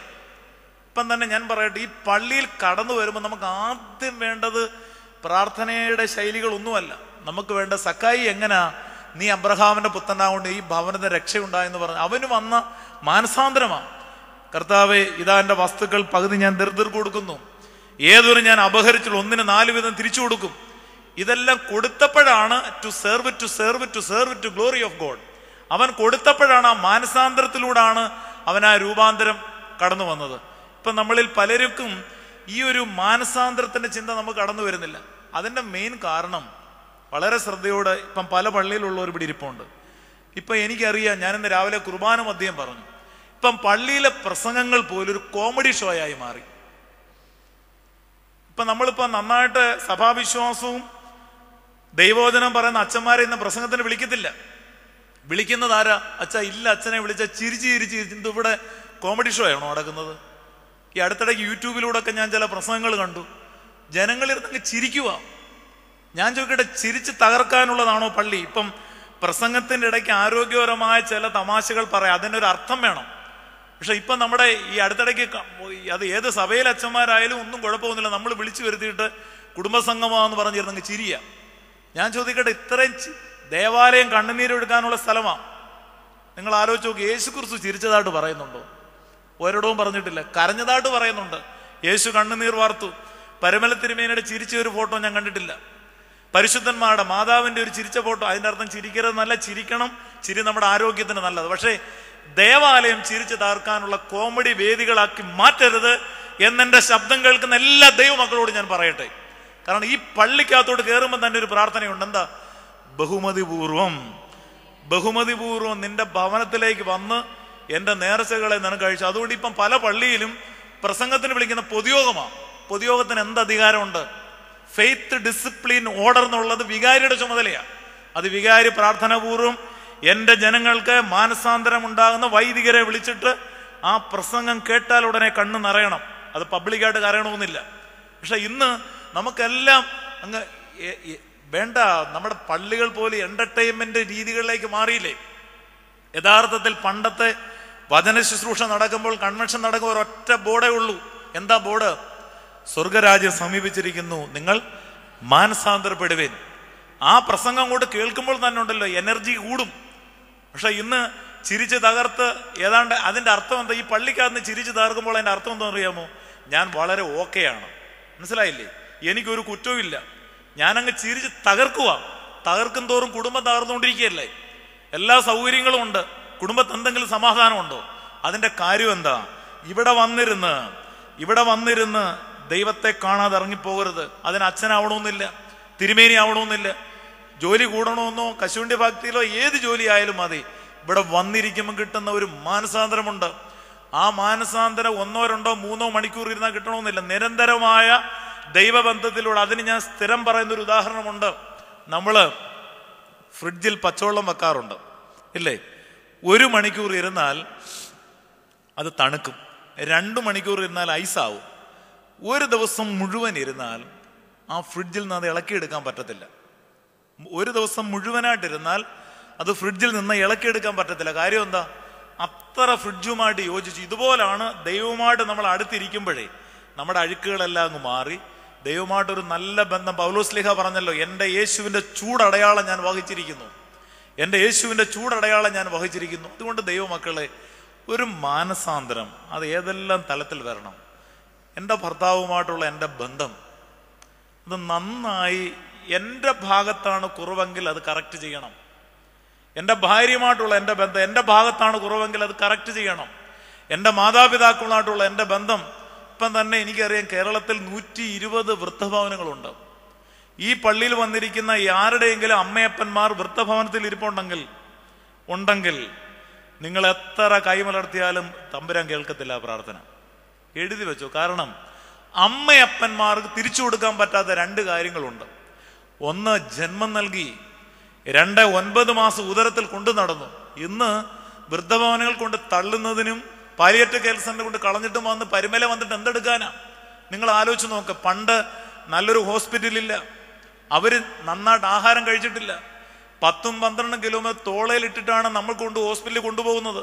അവർ നമ്മളെ നന്നായിട്ടൊന്ന് വളർത്തിയത് വലിയ ഭക്ഷണവും വലിയ മുറിയൊന്നും കൊടുത്തില്ലേലും സ്നേഹത്തോട് അപ്പാന്നൊന്നും വിളിക്കാതെ സ്നേഹത്തോട് അമ്മയെന്നൊന്നും വിളിക്കാതെ സ്നേഹത്തോട് അവർക്ക് ഒരു നേരത്തെ ആഹാരം കൊടുക്കാതെ ചത്തു കഴിയുമ്പം തിരുമേനിമാരെയും ആർഭാടങ്ങളും കൊയറും വിളിച്ചിട്ട് റോഡിലൂടെ ബഹളം ഉണ്ടായിക്കൊണ്ട് പോയി കഴിഞ്ഞാൽ അതൊന്നും വലിയൊരു പ്രൗഢിയാന്ന് ധരിക്കില്ല മറ്റുള്ളവർ നമ്മളെ പുച്ഛിക്കുക. ഈ മാനസാന്തരം വരേണ്ട പല മേഖലകൾ. ഇനി മറ്റൊരു കാര്യം കൂടി ഞാൻ പറയാം. ഇവിടെ ഇരിക്കുന്നവരെല്ലാം ഏതെങ്കിലും തരത്തിൽ സർക്കസ് കൂടാരം കണ്ടിട്ടുള്ളവരാ അല്ലേ? ഈ സർക്കസ് കൂടാരം നോക്കിയാൽ അറിയാം വലിയൊരു തൂണിൽ അനേക കയറുകൾ പല പല സ്ഥലത്തേക്ക് വലിച്ചു കെട്ടിയിട്ട് അതിന്റെ മണ്ടയിലാണ് മുകളിലാണ് ടാർപ്പ ഇടുന്നത്. ഇത് ഒരു മാസം രണ്ടു മാസം എടുത്താണ് ഈ കൂടാരം. പക്ഷെ ഇതിന്റെ ഈ കൂടാരത്തിന്റെ ഓരോ കയറുകളും ഓരോ കമ്പിയിൽ കൊണ്ട് ബന്ധിക്കും. ഒരു കൂടാരം പോ ഒരു കൂടാരത്തിന്റെ കയറ് പോകുന്നത് ഒരു കയറ് പോകുന്നത് പട്ടിയുടെ കൂട്ടിലേക്കായിരിക്കും. ഒരെണ്ണം കടുവയുടെ കൂട്ടിലേക്കായിരിക്കും. ഒരെണ്ണം സിംഹത്തിന്റെ കൂട്ടിലേക്ക്. ഒന്ന് മനുഷ്യന്റെ കൂട്ടിലേക്ക്. ഇങ്ങനെ ഓരോ കയറുകളും വേർതിരിക്കുന്നത് ഓരോ കൂടുകൾക്ക് വേണ്ടിയാണ് ഇതിലെ ഏതെങ്കിലും ഒരു കയറ് പൊട്ടിയാൽ സിംഹം മനുഷ്യന്റെ കൂട്ടിലും മനുഷ്യൻ പട്ടിയുടെ കൂട്ടിലും പട്ടി ഇതിന്റെ കൂട്ടിലും പോകും. ഇതേപോലെ തന്നെയാണ് നമ്മുടെ ജീവിതത്തിൽ ഒരുപാട് ധാർമ്മികതകളുണ്ട്. അപ്പനോടുള്ള ബന്ധം അതൊരു കയറ് അത് പൊട്ടിക്കരുത്. പള്ളിയോടുള്ള ബന്ധം നൊയമ്പിനോടുള്ള ബന്ധം പ്രാർത്ഥനയുടെ ബന്ധം ആത്മീയ ബന്ധം അയൽപക്കത്തേക്കുള്ള ബന്ധം ഇതിന്റെ എല്ലാ കയറും ഒരുപോലെ ഇരിക്കണം. ഏതെങ്കിലും ഒരെണ്ണം പൊട്ടിയാൽ ഇപ്പം ചിലരെ നോക്കിയാൽ അറിയാം പള്ളിക്ക് കൊടുക്കും അപ്പന് കൊടുക്കത്തില്ല. അപ്പന് കൊടുക്കും പള്ളിക്ക് കൊടുക്കത്തില്ല. അയൽപക്കക്കാർ കൊടുക്കും ദേവാലയത്തിൽ കൊടുക്കത്തില്ല. പക്ഷേ എല്ലാം ഒരുപോലെ ദൈവികമായി വരുമ്പോൾ മാത്രമേ തീത്തോസിന്റെ ലേഖനം ഒന്നിന്റെ പതിനഞ്ചിൽ പറയുന്നുണ്ട് ശുദ്ധമുള്ളവർക്കല്ല ശുദ്ധം തന്നെ. അശുദ്ധന്മാർക്കും മലിനന്മാർക്കും ഒന്നും ശുദ്ധമല്ല. അതുകൊണ്ട് സഹോദരങ്ങളെ ഓർക്കണം നമ്മുടെ ജീവിതത്തിൽ കർത്താവെ ഈ രണ്ടായിരത്തി പതിനേഴ് ജൂലൈ മാസം പതിനാലാം തീയതി ഞാൻ തീരുമാനമെടുക്കട്ടെ. ഏതാണ് എന്റെ കുറവെന്നും ഏതാണ് എന്റെ തെറ്റെന്നും നന്നായി പ്രാർത്ഥിച്ച് കണ്ടുപിടിച്ചിട്ട് ഈ കബറിൽ നിന്ന് പോയി. അടുത്ത പ്രാവശ്യം ഞാൻ ഈ കബറെങ്കിൽ വന്നിരിക്കുമ്പം എന്റെ ദൈവാനുഗ്രഹത്തിന് തടസ്സമായി നിൽക്കുന്ന എന്തെങ്കിലും കാര്യങ്ങൾ ഉണ്ടെങ്കിൽ അത് വൈദികന്റെ അടുത്ത് പോയി കുംഭസാരിച്ച് കുർബാന അനുഭവിച്ചിട്ട് ഞാൻ ഇവിടെ വന്ന് മുട്ടുകുത്താൻ നിങ്ങൾ പ്രാർത്ഥിക്കണം. അതിനോട് കണക്ട് ചെയ്തൊരു കാര്യം ഇവിടെ പറയട്ടെ. നമുക്കിന്ന് പലർക്കും കുർബാന കൊണ്ടിട്ട് പറ്റുന്ന കുഴപ്പം എന്ത് കുർബാന കൊണ്ട് രോഗം കൂടുക സംശയമുണ്ടോ? കുർബാന കൊണ്ടാൽ നമ്മുടെ രോഗം മാറേണ്ടതിന് പകരം കുർബാന കൊണ്ട് രോഗം കൂടുക കാര്യം എന്താ നമ്മളിൽ പലരും ഈ കുർബാനക്രമത്തിൽ എഴുതിയിരിക്കുന്ന കുംഭസാരക്രമം വായിക്കാതെയും അത് പ്രവർത്തിക്കാതെ വന്ന് കുർബാന കൊള്ളുന്നത്. ഞാൻ ചോദിക്കട്ടെ ആ കുർബാനക്രമത്തിന്റെ അവസാനം ഒരു ഇരുപത് മിനിറ്റ് എങ്കിലും ഇരുന്ന് വായിക്കാൻ എല്ലാം എഴുതി വെച്ചിട്ടുണ്ട്. എത്ര പേര് വായിച്ചിട്ട്? ഇപ്പൊ ഒരു ഹൂസോയയുടെ ക്രമമായിട്ട് മാറി. മാവേലി സ്റ്റോറി ക്യൂ നിൽക്കുന്ന പോലെ. സന്ധ്യാനമസ്കാരം കഴിക്കുമ്പോൾ കാണാം ഒരു ഇരുപത് പേര് കാണും. അത് കണ്ടിട്ട് ഒരു ഇരുപത് പേര് വരും. അതിന്റെ പുറകിൽ ഒരു നാൽപ്പത് പേര് വരും. തുബ്ദേൻ സമയത്ത് കാണാം പത്ത് പേർക്ക് കൊടുത്ത് അമ്പത് പേര് നിങ്ങൾ എന്ത് ഒരുക്കത്തിലാണ് വന്നു കൊള്ളുന്നത്? ഇപ്പോൾ ഒരു കോട്ടയ്ക്കൽ ആര്യവൈദ്യശാലയുടെ ഒരു ലേഹ്യം കഴിച്ചാൽ അതിന് പത്യം നോക്കണം. ആ പത്യം കറക്റ്റ് അല്ലെങ്കിൽ ആ ലേഹ്യം ഇരട്ടി ദോഷം ചെയ്യും. പശുവിന്റെ പാൽ നല്ലതാണ് എടുക്കുന്ന പാത്രം മോശമാണെങ്കിൽ പാലിന്റെ കുറ്റമാണോ പാത്രത്തിന്റെ കുറ്റമാണ് അപ്പോൾ ഒരു റിയൽ കുംഭസാരം നടക്കാതെ കുർബാന അനുഭവിക്കരുത്. ഇനി മറ്റൊരു കുഴപ്പം. പലരുടെയും ധാരണ എനിക്ക് വികാരി അച്ഛനോട് നല്ല ബന്ധമാണ്. അപ്പൊ അച്ഛന്റെ അടുത്ത് പോയി ഞാനിതെല്ലാം കൂടെ അങ്ങ് തുറന്നു പറഞ്ഞാലേ ഇനി നാളെ അച്ഛന്റെ മുഖത്ത് അങ്ങനെ നോക്കുന്നത്? അങ്ങനെ ചിന്തിക്കുകയേ ചെയ്യരുത്. ശരിക്കും നമ്മുടെ സഭാവിശ്വാസം നമുക്ക് കൗൺസിലിംഗ് ഇല്ല അറിയാം നമുക്കുള്ളത് കുമ്പസാരമാണ് കർത്തൂപ്പായിട്ടുകൊണ്ട് കുമ്പസാരിക്കുന്ന ഒരു അച്ഛന്റെ അടുത്ത് വന്ന് നിങ്ങൾ കുമ്പസാരിച്ച് കഴിയുമ്പം ഒരിക്കലും അച്ഛൻ ആ പാപം പിന്നെ ഓർക്കത്തില്ല ആ കണ്ണുകൊണ്ട് നിങ്ങളെ കാണില്ല. കണ്ടാൽ ആ പാവം അച്ഛനിലേക്ക് വരുമെന്ന. പക്ഷെ ഹൃദയം തുറന്ന് കുമ്പസാരിക്കണം. ഒരു കള്ള കുമ്പസാരം നടത്തി ഇത് കടങ്ങളുടെ പരിഹാരത്തിനും പാപമോചനത്തിനും തരുന്നതാണ് പിന്നെ നമ്മൾ കുർബാന ക്രോസായിട്ട് പിടിക്കുമ്പോൾ പറയുന്ന ഒരു വരി നിങ്ങൾ കേട്ടിട്ടുണ്ടോ? ശിക്ഷയ്ക്കും ആ പ്രതികാരവും ഇപ്പോഴാ. പണ്ട് പറഞ്ഞ പ്രതി പകരവുമെന്നാണ് മനസ്സിലായില്ലേ? തിരിച്ചടിക്കും. ഈ കുർബാന കൊണ്ടിട്ട് അനുഗ്രഹത്തിന് പകരം തിരിച്ചടിയാ പലർക്കും വരുന്നത്. നിങ്ങൾ അതുകൊണ്ട് ഈ ശൈലി അങ്ങ് മാറിയേ. വെള്ളിയാഴ്ച ഒരു ഉപവാസമൊക്കെ എടുത്ത് ശനിയാഴ്ച രാവിലെ വീട്ടിൽ ഇതിനു വേണ്ടി ഒന്ന് ഒരുങ്ങി സന്ധ്യാനമസ്കാരത്തിനൊക്കെ ഒന്ന് വന്ന് പാവങ്ങളെല്ലാം അച്ഛനടുത്ത് ഏറ്റു പറഞ്ഞ് കുർബാന കൊള്ള്. ഞാൻ പറയട്ടെ കുർബാന കഴിഞ്ഞ് പുറത്തിറങ്ങുമ്പം നിങ്ങളുടെ മുമ്പിൽ നിൽക്കുന്നവരെല്ലാം പ്രകാശിക്കുന്നതായി തോന്നും. അത്ര പവറാണ് ഈ കുർബാന. കുർബാനയിൽ തന്നെ അഞ്ച് ഘടകങ്ങളുണ്ട്. Worship with fire worship with flower worship with fruit worship with water worship with song ഇത് അഞ്ച് ചേരുന്നതാ കുർബാന. ഒന്നുകൂടെ ഞാൻ പറയാം. വർഷിപ്പ് വിത്ത് ഫയർ ഇതിൽ തീയുണ്ട് തീയല്ലോ ഈ മദ്ബഹ. വർഷിപ്പ് ഇത് ഫ്രൂട്ട് ഇതിൽ ഫലങ്ങളുണ്ട് ഗോതമ്പപ്പവും വീഞ്ഞും അത് ഫ്രൂട്ടിന്റെയാണ് വർഷപ്പത്ത് ഫ്ലവർ ഇതിൽ പൂക്കളുണ്ട് ഓശാനയ്ക്കെല്ലാം. വർഷപ്പത്ത് വാട്ടർ ഇതിൽ വെള്ളമുണ്ട്. വർഷപ്പത്ത് സോങ് ഇതിൽ പാട്ടുണ്ട്. ഇത് അഞ്ചും കൂടെ അടങ്ങിയതാണ് വിശുദ്ധ കുർബാന. അതുകൊണ്ടാ ഈ കുർബാന കഴിഞ്ഞ് ഒരു പ്രാർത്ഥനയും പണ്ട് നടത്താതിരുന്നത്. ഇപ്പം എന്താ ഇത്? ഇപ്പം കുർബാന കഴിയുമ്പോഴാണ് ഞാൻ ഉൾപ്പെടെയുള്ള അച്ഛന്മാർക്ക് പ്രാർത്ഥന തുടങ്ങുന്നത്. ശരിക്കും തെറ്റാണ്. കുർബാന കൗമേൽ തുടങ്ങി കൗമേൽ അവസാനിക്കും. കുർബാന കഴിഞ്ഞാൽ പിന്നീട് ജന്മദിന സ്തോത്രം വിവാഹ വാർഷികം ഇതൊന്നും പാടില്ലെന്നാ. പിന്നെ ചെറിയ രീതിയിൽ ഒരു പ്രാർത്ഥന നടത്തിയ തെറ്റെന്ന് ഞാൻ പറയുന്നില്ല. മാതാവിന്റെ ജന്മപ്പെരുന്നാളിന് പ്രാധാന്യം നമ്മൾ കൊടുക്കുന്നില്ല. പിന്നാണോ വ്യക്തികളുടെ. എന്താ ഈ കുർബാന കഴിഞ്ഞ മറ്റൊരു പ്രാർത്ഥന നടത്തതെന്ന് പറയാൻ കാര്യം? വിശുദ്ധ ത്രോണോസിൽ യേശുവിന്റെ ശരീരം ഇരിക്കുക യേശുവിന്റെ ശരീരം ത്രോണോസിൽ തിരിയും കത്തിച്ചവിടെ ഇരിക്കുമ്പം പിന്നെ വ്യക്തികളുടെ പേരുകൾ വിളിച്ചു പറയുന്ന ശൈലി നമുക്കില്ല. അതുകൊണ്ടാണ് കുർബാന കഴിഞ്ഞാൽ ഇനി നിങ്ങൾ ചോദിക്കുക അച്ഛാ ഞങ്ങളുടെ ആവശ്യങ്ങളൊക്കെ ഇതാ എവിടാ പറ നിങ്ങൾ അറിയുന്നില്ല നിങ്ങൾ എഴുതി കൊടുക്കുന്ന എല്ലാ പേരുകളും കൈമിനിക്ക നിലത്തിട്ട് യാചിക്കേണ്ട സമീപത ചൊല്ലുമ്പോൾ അതെല്ലാ പേരും അച്ഛൻ മൂന്ന് പ്രാവശ്യം കുരിശ് വരയ്ക്കുന്നുണ്ട്. അതുകൂടാതെ തുയോവയ്ക്ക് പേര് ഓർക്കുന്നുണ്ട് തുബ്ദേന്റെ സമയത്ത് ഓർക്കുന്നുണ്ട്. അതാണ്ട് എന്റെ മോളും വന്നിട്ടുണ്ട്. എന്റെ മോൾ കുർബാന ചൊല്ലുമ്പോഴാണ് ജനിച്ചത്. ഇപ്പൊ നമ്മൾ ഈ കുർബാനയുടെ ശക്തി നമ്മൾ മറന്നു പോകരുത്. പ്രിയമുള്ളവരെ അതുകൊണ്ടാണ് കുർബാന കഴിഞ്ഞാൽ അടുത്തിടയ്ക്ക് പ്രായമുള്ള ഒരു അച്ഛൻ പറഞ്ഞത് കുർബാന കഴിഞ്ഞിട്ട് ഒരു പ്രാർത്ഥന നടത്തുന്നത് വലിയൊരു പടക്കം പൊട്ടിച്ചിട്ട് ടോ എന്ന് പറയുന്ന പോലെ ഉള്ളു. മനസ്സിലായി? വലിയൊരു പടക്കക്കോട്ട പൊട്ടി. പിന്നെ അത് കഴിഞ്ഞിട്ട് അതിന്റെ മൂലയ്ക്ക് ഇന്ന് ടോ എന്ന് പറയേണ്ട കാര്യം വല്ലതും ഉണ്ടോ? ഇല്ല. ഇപ്പം നമുക്ക് ആ കുർബാന വളരെ ശ്രദ്ധയോടെ പ്രഭാതം മുതൽ കുർബാന തീരുന്നത് വരെ നിന്ന് കഴിഞ്ഞാൽ പിന്നെ അതിനുശേഷം പിന്നെ ഒരു പ്രാർത്ഥനയുടെ പുറകാലം ഒന്നും പോണ്ട. ഇനി വിഷയം വെച്ച് വിഷയം വെച്ച് ഞാൻ ചോദിക്കട്ടെ വിഷയം വെച്ചിട്ടാണോ എല്ലാം ദൈവം തരുന്നത്? ഇപ്പൊ അടുത്തിടയ്ക്ക് ഞാനൊരു പ്രാർത്ഥനയ്ക്ക് ചെന്നപ്പോഴാണ് ഒരു വിഷയം എഴുതി കൊടുത്തിരിക്കുകയാണ് വണ്ടിക്ക് മൈലേജ് ഇട്ട് വിഷയങ്ങളെല്ലാം കൂടി കൂടി കൂടി കൂടി വന്നിട്ട് വിഷയങ്ങളോടെ വിഷയമാണ് ഇതൊന്നുമല്ല ദൈവസന്നിധിയിലുള്ള വിഷയം. ആരാധനയുടെ മൗത്വത്തിൽ നിന്നിട്ട് കുർബാന കഴിയുമ്പം തന്നെ ഉണ്ടല്ലോ നമുക്കൊരു തേജസ്സിന്റെ രൂപാന്തരം കടന്നു വരും അതുകൊണ്ട് മൂന്ന് ആശയങ്ങൾ ഞാൻ പറഞ്ഞു. ഒന്ന് പത്രോസിനെ യാക്കോബിനെ യോഹന്നാനെ കൂട്ടിക്കൊണ്ട് പ്രാർത്ഥനയുടെ ആദ്യത്തെ ഭാവമാണ് മറ്റുള്ളവരെ കൂട്ടിക്കൊണ്ടുവരിക. രണ്ടാമത്തതാണ് രണ്ടാമത് എന്താ ഞാൻ പറഞ്ഞത്?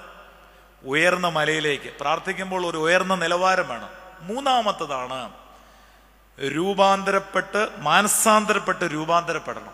നാലാമത് ഈ പ്രാർത്ഥിച്ച സമയത്ത് ഒരു ശോഭ യേശുവിൽ ഒരു ശോഭ വന്നു. ദൈവമക്കളെ ഈ ശോഭ നമ്മുടെ എല്ലാ കൂതാശയിലും കിട്ടും. നമുക്കറിയാമോ? പട്ടംകൊട ശി- കൂത പട്ടംകൊട ശുശ്രൂഷയേക്കാൾ വലുതാണ് മാമോദീസ. ഈ മാമോദീസ നൽകുന്ന സമയത്ത് തന്നെ ഞാൻ എല്ലായിടവും പറയാറുണ്ട് നമ്മുടെ ബർത്ത്ഡേ എന്ന മാമോദീസ മുങ്ങുന്ന തീയതിയാണ് എല്ലാവരും ബർത്ത്ഡേ പള്ളി പേര് കൊടുക്കുന്ന എന്ന ജനിച്ച ദിവസം. ജനിച്ച ദിവസമല്ല നമ്മുടെ ബർത്ത്ഡേ. നമ്മൾ ഈ സഭയിൽ മാമോദിസ നൽകിയ ആ തീയതിയാണ് നമ്മുടെ ബർത്ത്ഡേ. പക്ഷെ നിങ്ങൾ മറ്റേ ഡേറ്റ് കൊടുക്കുന്നതുകൊണ്ട് ഞാൻ കുറ്റം പറയുന്നില്ല. അതുകൊണ്ടാണ് ഈ മൂന്ന് കാര്യങ്ങൾ ആരും മറക്കരുത്. മാമോദീസ മുങ്ങിയ തീയതി മാമോദീസ മുക്കിയ അച്ഛൻ മാമോദീസ മുങ്ങിയ പേര്. ഇത് മൂന്നും മറക്കരുത്. ഇത് മൂന്നും അറിയാവുന്ന ഒരുന്ന് കൈപോക്കാമോ സന്തോഷം. ഒരാൾ മാത്രമുണ്ട്. എന്തൊക്കെയാ ഞാൻ ഒന്നുകൂടെ പറയാം. മാമോദീസ മുങ്ങിയ തീയതി മാമോദീസ മുക്കിയ അച്ഛൻ മാമോദീസ മുങ്ങിയ പേര്. ഇത് മൂന്നും ഒരിക്കലും മറക്കരുത്. ചിലർക്ക് ഒന്നറിയാം. ചിലർക്ക് അര പോലും അറിഞ്ഞുകൂടാ. ഇത് മൂന്നും കുർബാന ബൈബിൾ നമ്മൾ വായിക്കുന്ന ബൈബിളിൽ എഴുതി ഇട്ടേക്കൂടാന്ന്. ശരിക്കും നമ്മുടെ ബർത്ത്ഡേ മാമോദീസ മുങ്ങ തീയതിയാണ് ഈ മാമോദീസയിലൂടെ സഭയിലേക്ക് ചേർക്കപ്പെട്ടാൽ ഈ മാമോദീസയൊക്കെ മുങ്ങി. ഇപ്പൊ ചില കുഞ്ഞുങ്ങളെ കണ്ടിട്ടുണ്ടോ? മാമോദീസ മുക്കുന്നതിന് മുമ്പ് ഭയങ്കര കരച്ചിലും പേടി ഞെട്ടലൊക്കെ ആയിരിക്കും. ഈ മൂറം കൊണ്ടൊന്ന് പുരട്ടി ദൈവ സൃഷ്ടിയെ നീ സമീപിക്കരുത്. ഇത് പിശാചിന്റെ അധിവാസ സ്ഥലമല്ല. ദൈവത്തിന്റെ ആലയമാണ്. പിതൃപുത്ര പരിശുദ്ധാത്മാവാൻ ദൈവത്തെ കൊണ്ട് നിന്നെ ഞാൻ ശപഥം ചെയ്യിച്ച് നമുക്കറിയാമല്ലോ മൂറോം കൊണ്ട് കുതാ ചെയ്യുന്നത് നമ്മുടെ പള്ളിയും ശരീരവും മാത്രമേ ഉള്ളൂ. വേറെ ഒന്നും മൂറോൻ എടുക്കത്തില്ല. അപ്പോൾ ആ മൂറോൻ കൊണ്ട് കുതാ ചെയ്യുന്ന ഈ മാമോദിസായിക്ക് തന്നെ കുഞ്ഞിന്റെ മുഖത്തൊരു ശോഭയുണ്ട്. രണ്ടാമത് നമ്മുടെ വിവാഹ കുതാശ ആര് ശ്രദ്ധിക്കുമെന്ന് എനിക്ക് അറിയത്തില്ല. അത് മൂറം കൊണ്ടല്ല വിവാഹ കുതാശ നോക്കിയേ മണവാളന്റെയും മണവാട്ടിയുടെയും ആ വിവാഹമൊക്കെ കഴിഞ്ഞ് അവരെ മന്ത്രകോടി കയ്യിലിട്ടിട്ട് ഒരു ഫോട്ടോ എടുക്കുക ശ്രദ്ധിച്ചിട്ടുണ്ടോ? അത് ഡ്രസ്സിന്റെ ശോഭയൊന്നും അല്ല. എന്നെ പ്രകാശമാണെന്നറിയാമോ? എന്നെ തേജസ്സാണെന്നറിയാമോ? അതേപോലെ തന്നെ ശവസംസ്കാര ശുശ്രൂഷയ്ക്ക് ചിലരുടെ മുഖം കണ്ടിട്ടില്ലേ? ഈ പത്തനാപുരത്തിനടുത്ത് ഒരു പള്ളിയിൽ അപ്പനും അമ്മയും കൂടെ ഒരേ ടൈമിന് മരിച്ചു. പതിനഞ്ച് മിനിറ്റ് വ്യത്യാസത്തിൽ എഴുപത് എഴുപത്തിരണ്ടും വയസ്സുള്ള അപ്പൻ മരിച്ച് അരമണിക്കൂർ കഴിഞ്ഞ അമ്മയും മരിച്ചു. ഒമ്പത് വർഷം മുമ്പ് ഞാൻ ആ ശവസംസ്കാരത്തിന് പോയിരുന്നു. അടക്ക സമയത്ത് കാലം ചെയ്ത ദിദിമോസ് ബാവ ഉൾപ്പെടെ കുറെ ഏറെ തിരുമേനിമാരും അച്ഛന്മാരും അവിടെ വന്നു. ആ രണ്ടുപേരുടെ ഫേസ് നോക്കിയിട്ട് എല്ലാവരും നോക്കിപ്പോയി. നല്ല കറുത്തവരാ. പക്ഷെ ആ ശവസംസ്കാര സമയത്ത് അവരുടെ മുഖത്തിന്റെ തേജസ് ഉണ്ടല്ലോ. എത്ര പ്രകാശമാണ് ദൈവമക്കളെ വലിയ പണമുള്ള വീട്ടിലൊന്നും അല്ല. അപ്പോൾ ഈ മരിക്കുന്ന സമയത്ത് നമ്മുടെ ഒരു മുഖത്ത് തേജസ് വേണം. അതുകൊണ്ടാണ് കർത്താവെ നിൻ രക്തശരീരങ്ങൾ ഭക്ഷിച്ച് ഭക്തരായി മരിച്ചവർ കരളണമേ നല്ല ഓർമ്മ. ആ ദൈവിക തേജസ് നമ്മുടെ മുഖത്തുണ്ടെങ്കിലേ ഒരിക്കലും നമ്മുടെ മുഖം വാടത്തില്ല. അതിന് അമ്പത്തൊന്നാം സങ്കീർത്തനം എന്നും അമ്പത്തൊന്നാം സങ്കീർത്തനം ഒരു ക്രൈസ്തവൻ ചൊല്ലണമെന്ന് പറയാനുള്ള കാര്യം എന്താ ദൈവമേ നിർമ്മലമായ ഹൃദയം എന്നിൽ തന്ന് സ്ഥിരതയുള്ള ആത്മാവിനെ എന്റെ ഉള്ളിൽ പുതുതാക്കണം. ചിലരെ കണ്ടിട്ടുണ്ട് ഇവിടെ ഇരിക്കുന്നവരിലും ഉണ്ട് എനിക്കറിയാം.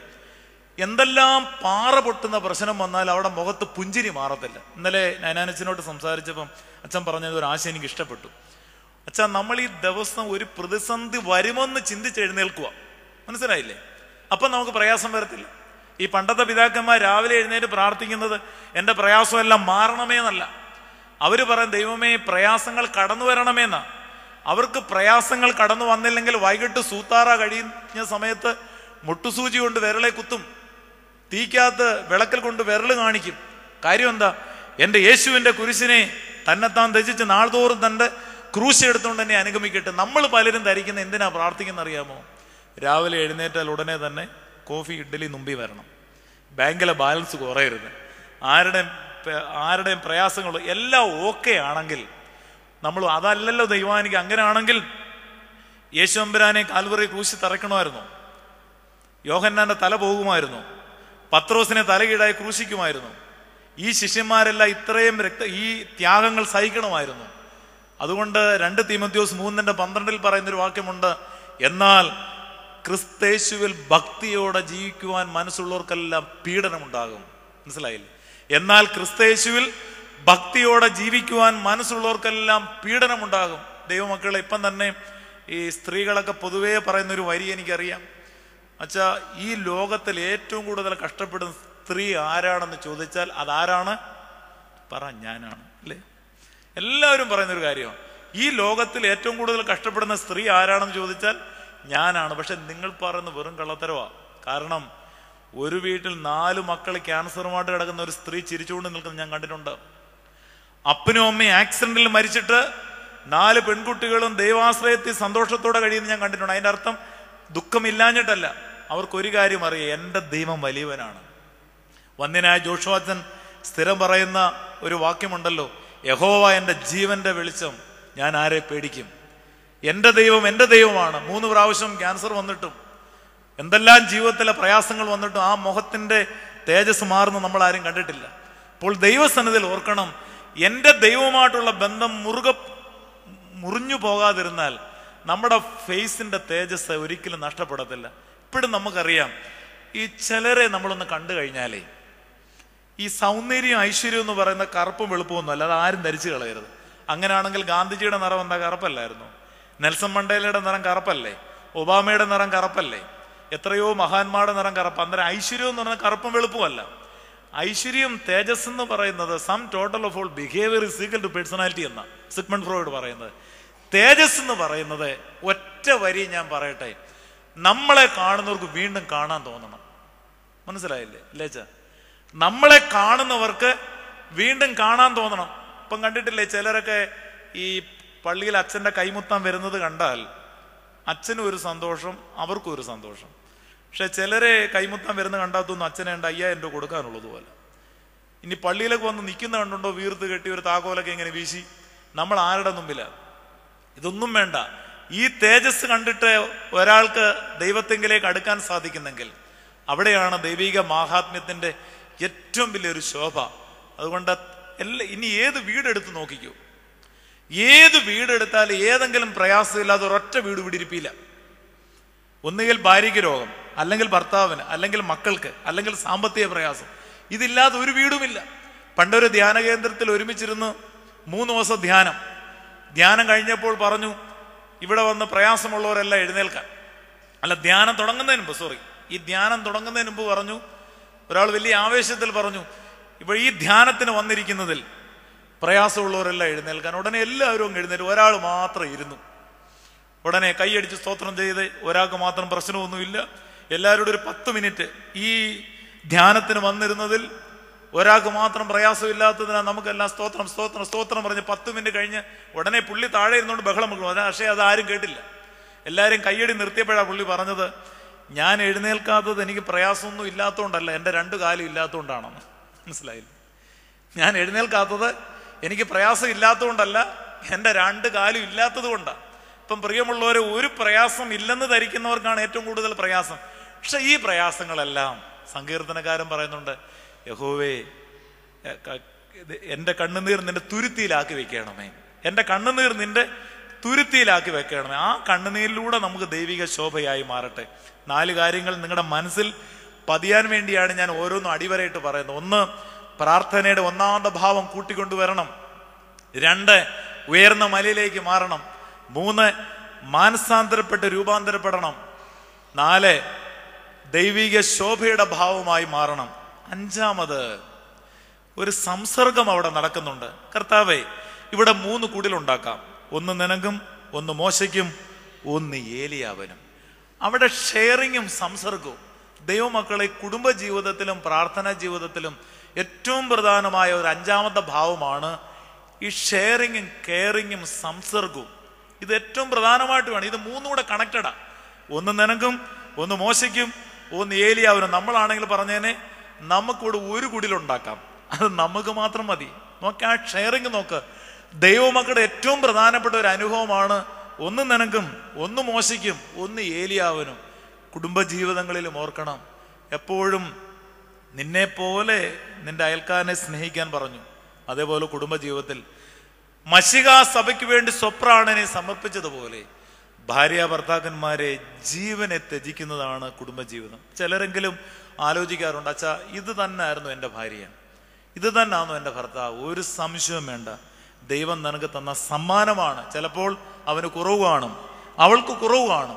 പക്ഷെ ആ ഷെയറിങ്ങും ആ കെയറിങ്ങും അതുകൂടാതെ ആ സംസർഗം ഈ പ്രാർത്ഥനയിൽ നമ്മൾ ആലോചിച്ച് നോക്കിയേ പണ്ടത്തെ നമ്മുടെ പിതാക്കന്മാരെല്ലാം കാണിച്ചു തന്ന പ്രാർത്ഥനയുടെ വലിയൊരു ഭാവം നമ്മൾ അറിയുന്നുണ്ടോ? വിശുദ്ധ കുർബാനയിൽ പോലും നമ്മൾ കാണുന്നത് മറ വലിച്ചുള്ള ആരാധനയാണ്. പക്ഷെ ഇവിടെ പ്രഭാത നമസ്കാരം നടക്കുമ്പം അച്ഛന്മാരും അദ്ബാഹിൽ കയറി ഒരു നാൽപ്പത് മിനിറ്റ് തുയോബ നടക്കും. ഈ തുയോബയുടെ സമയത്ത് കൈ ക്രോസായിട്ട് വെച്ചിട്ട് എല്ലാ വിഷയങ്ങളും പ്രാർത്ഥിച്ച് ദൈവമായിട്ട് ഒരു സംസർഗം. ഈ പ്രായമുള്ള അച്ഛന്മാർ പറയുന്നത് ഞാൻ കേട്ടിട്ടുണ്ട്. ഈ തുയോബോ കറക്റ്റായിട്ട് നടത്തിയാൽ അച്ഛന്റെ കാൽ വലിച്ചിളക്കാൻ പാടാന്ന് അത്രയ്ക്ക് പ്രയാസമാണ്. അത് ഈ കുർബാനയ്ക്കും എനിക്ക് ചിലരെ അറിയാം. ചില മാതാപിതാക്കൾ പള്ളി വന്ന് നിന്നാൽ അവർ കഴുത്ത് വെട്ടി മാറ്റിയാലും അവരുടെ ശ്രദ്ധ മാറത്തില്ല. കാര്യം എന്താണെന്നറിയോ? മുകളിൽ ഒരു സംസർഗം. ഇനി വൈകിട്ടൊക്കെ നമ്മുടെ കുടുംബ പ്രാർത്ഥന അടക്കുമ്പോൾ നമുക്ക് പറ്റുന്ന ഇന്നത്തെ പാളിച്ച എന്തെന്നറിയാമോ?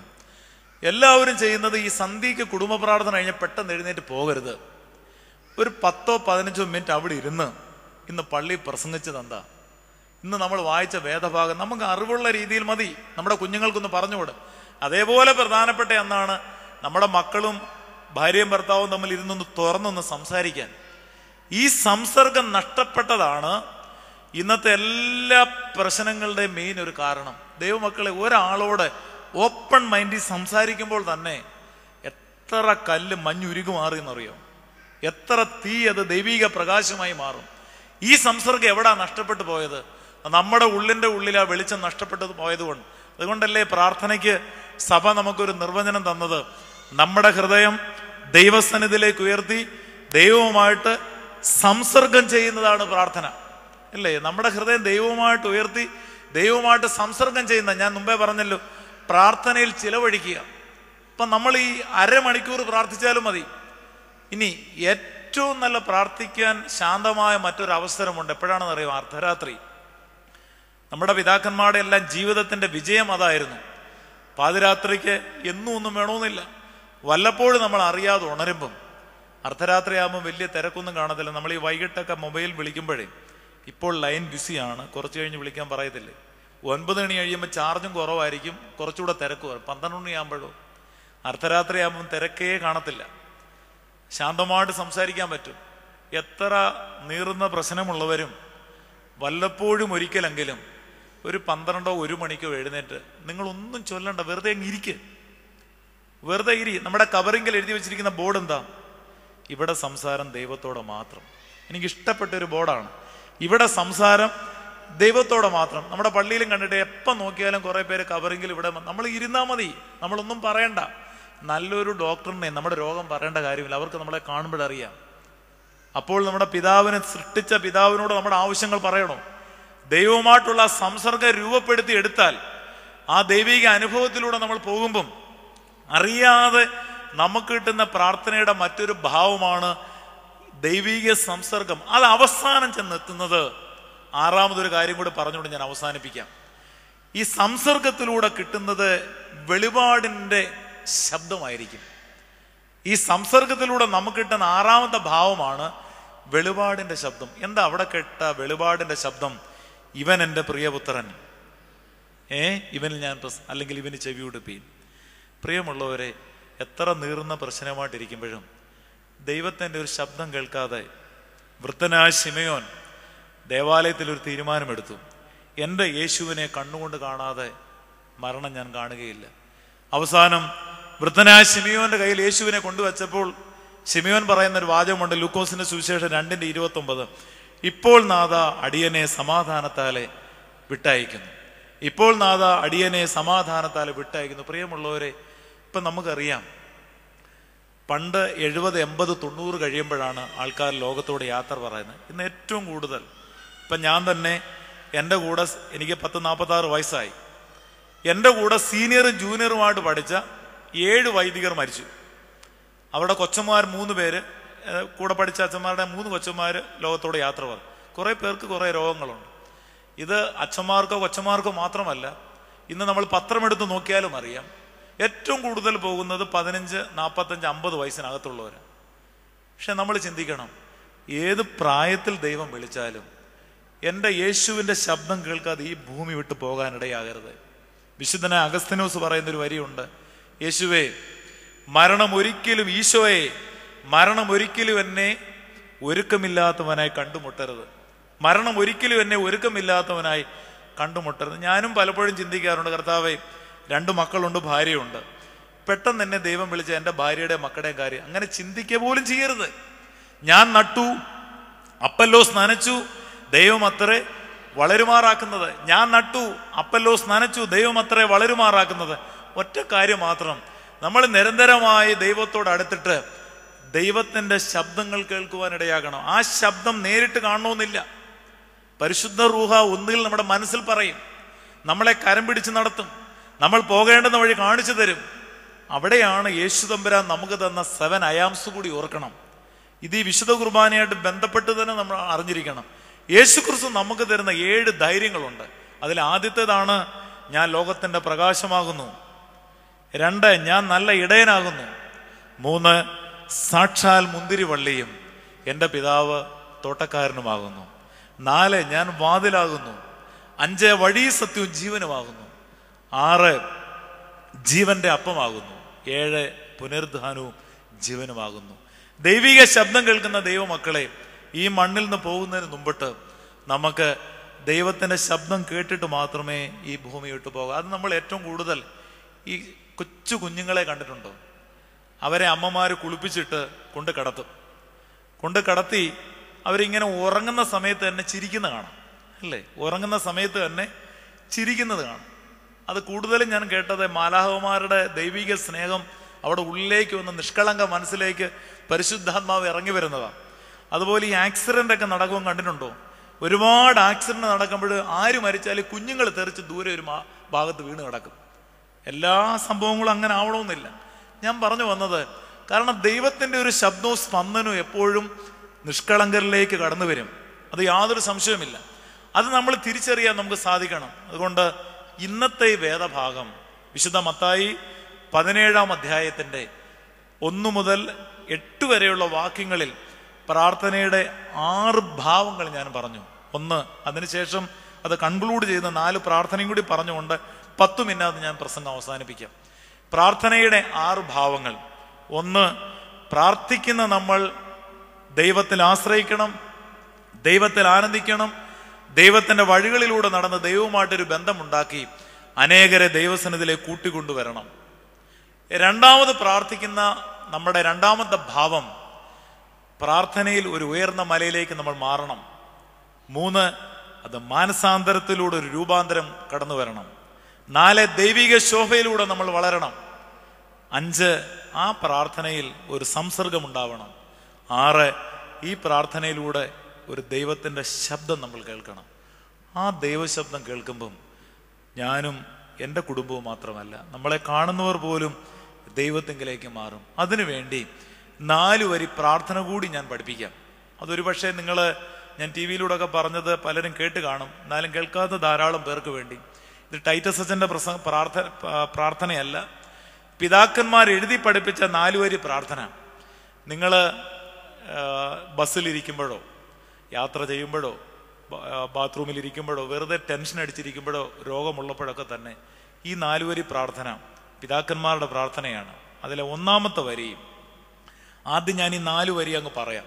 ഒന്ന് ദൈവമേ നിന്റെ തേജസ് എന്റെ മേൽ ഉദിപ്പിക്കണമേ. രണ്ട് ദൈവമേ നിന്റെ ഹൃദയം എന്നിൽ പകരണമേ. മൂന്ന് ദൈവമേ എന്റെ ഉൾക്കണ്ണുകളെ പ്രകാശിപ്പിക്കണമേ. നാല് ദൈവമേ നിന്റെ വഴികളിലൂടെ എന്നെ നടത്തണമേ.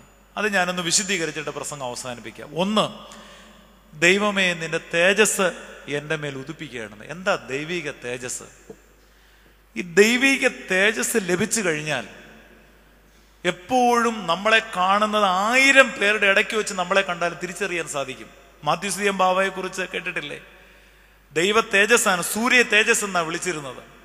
തിരുമേനിയെക്കുറിച്ച് ഞാൻ കേട്ടിരിക്കുന്നത് ആരാധനയ്ക്ക് പടിഞ്ഞാറോട്ട് തിരിഞ്ഞാൽ കിഴക്കോട്ട് തിരിഞ്ഞാൽ പിന്നീട് തിരിഞ്ഞു നോക്കാറില്ല യാമങ്ങളുടെ നമസ്കാരങ്ങൾ നിരന്തരമായി ചൊല്ലി ചൊല്ലി ചൊല്ലി ചൊല്ലും തോറും അങ്ങ് സന്തോഷങ്ങൾ കൂടി അതിലങ്ങ് ആനന്ദം കണ്ടെത്തി. അവിടെ അതുകൊണ്ടാണ് ആ തേജസ് മലങ്കര സഭ മുഴുവൻ സൂര്യ തേജസ്സായി അതിനെ കണ്ടത്. അപ്പോൾ എപ്പോഴും നമ്മൾ പ്രാർത്ഥിക്കേണ്ട ഒരു കാര്യമുണ്ട്. കർത്താവ് എന്റെ ജീവിതത്തിൽ കുഞ്ഞുങ്ങൾക്ക് രോഗം വരാം സാമ്പത്തിക പ്രയാസങ്ങൾ വരാം മാനസിക സംഘർഷങ്ങൾ വരാം എല്ലാം കടന്നു വരുമ്പോഴും ഞാൻ നിന്നോട് പ്രാർത്ഥിക്കുന്നു. ദൈവമേ നിന്റെ തേജസ് എന്റെ മേൽ ഉദിപ്പിക്കണമേ. എൻ പ്രേമഗീതമാം. എന്നേശുനാഥ നീ. എൻ ജീവനെ കാളും നീ.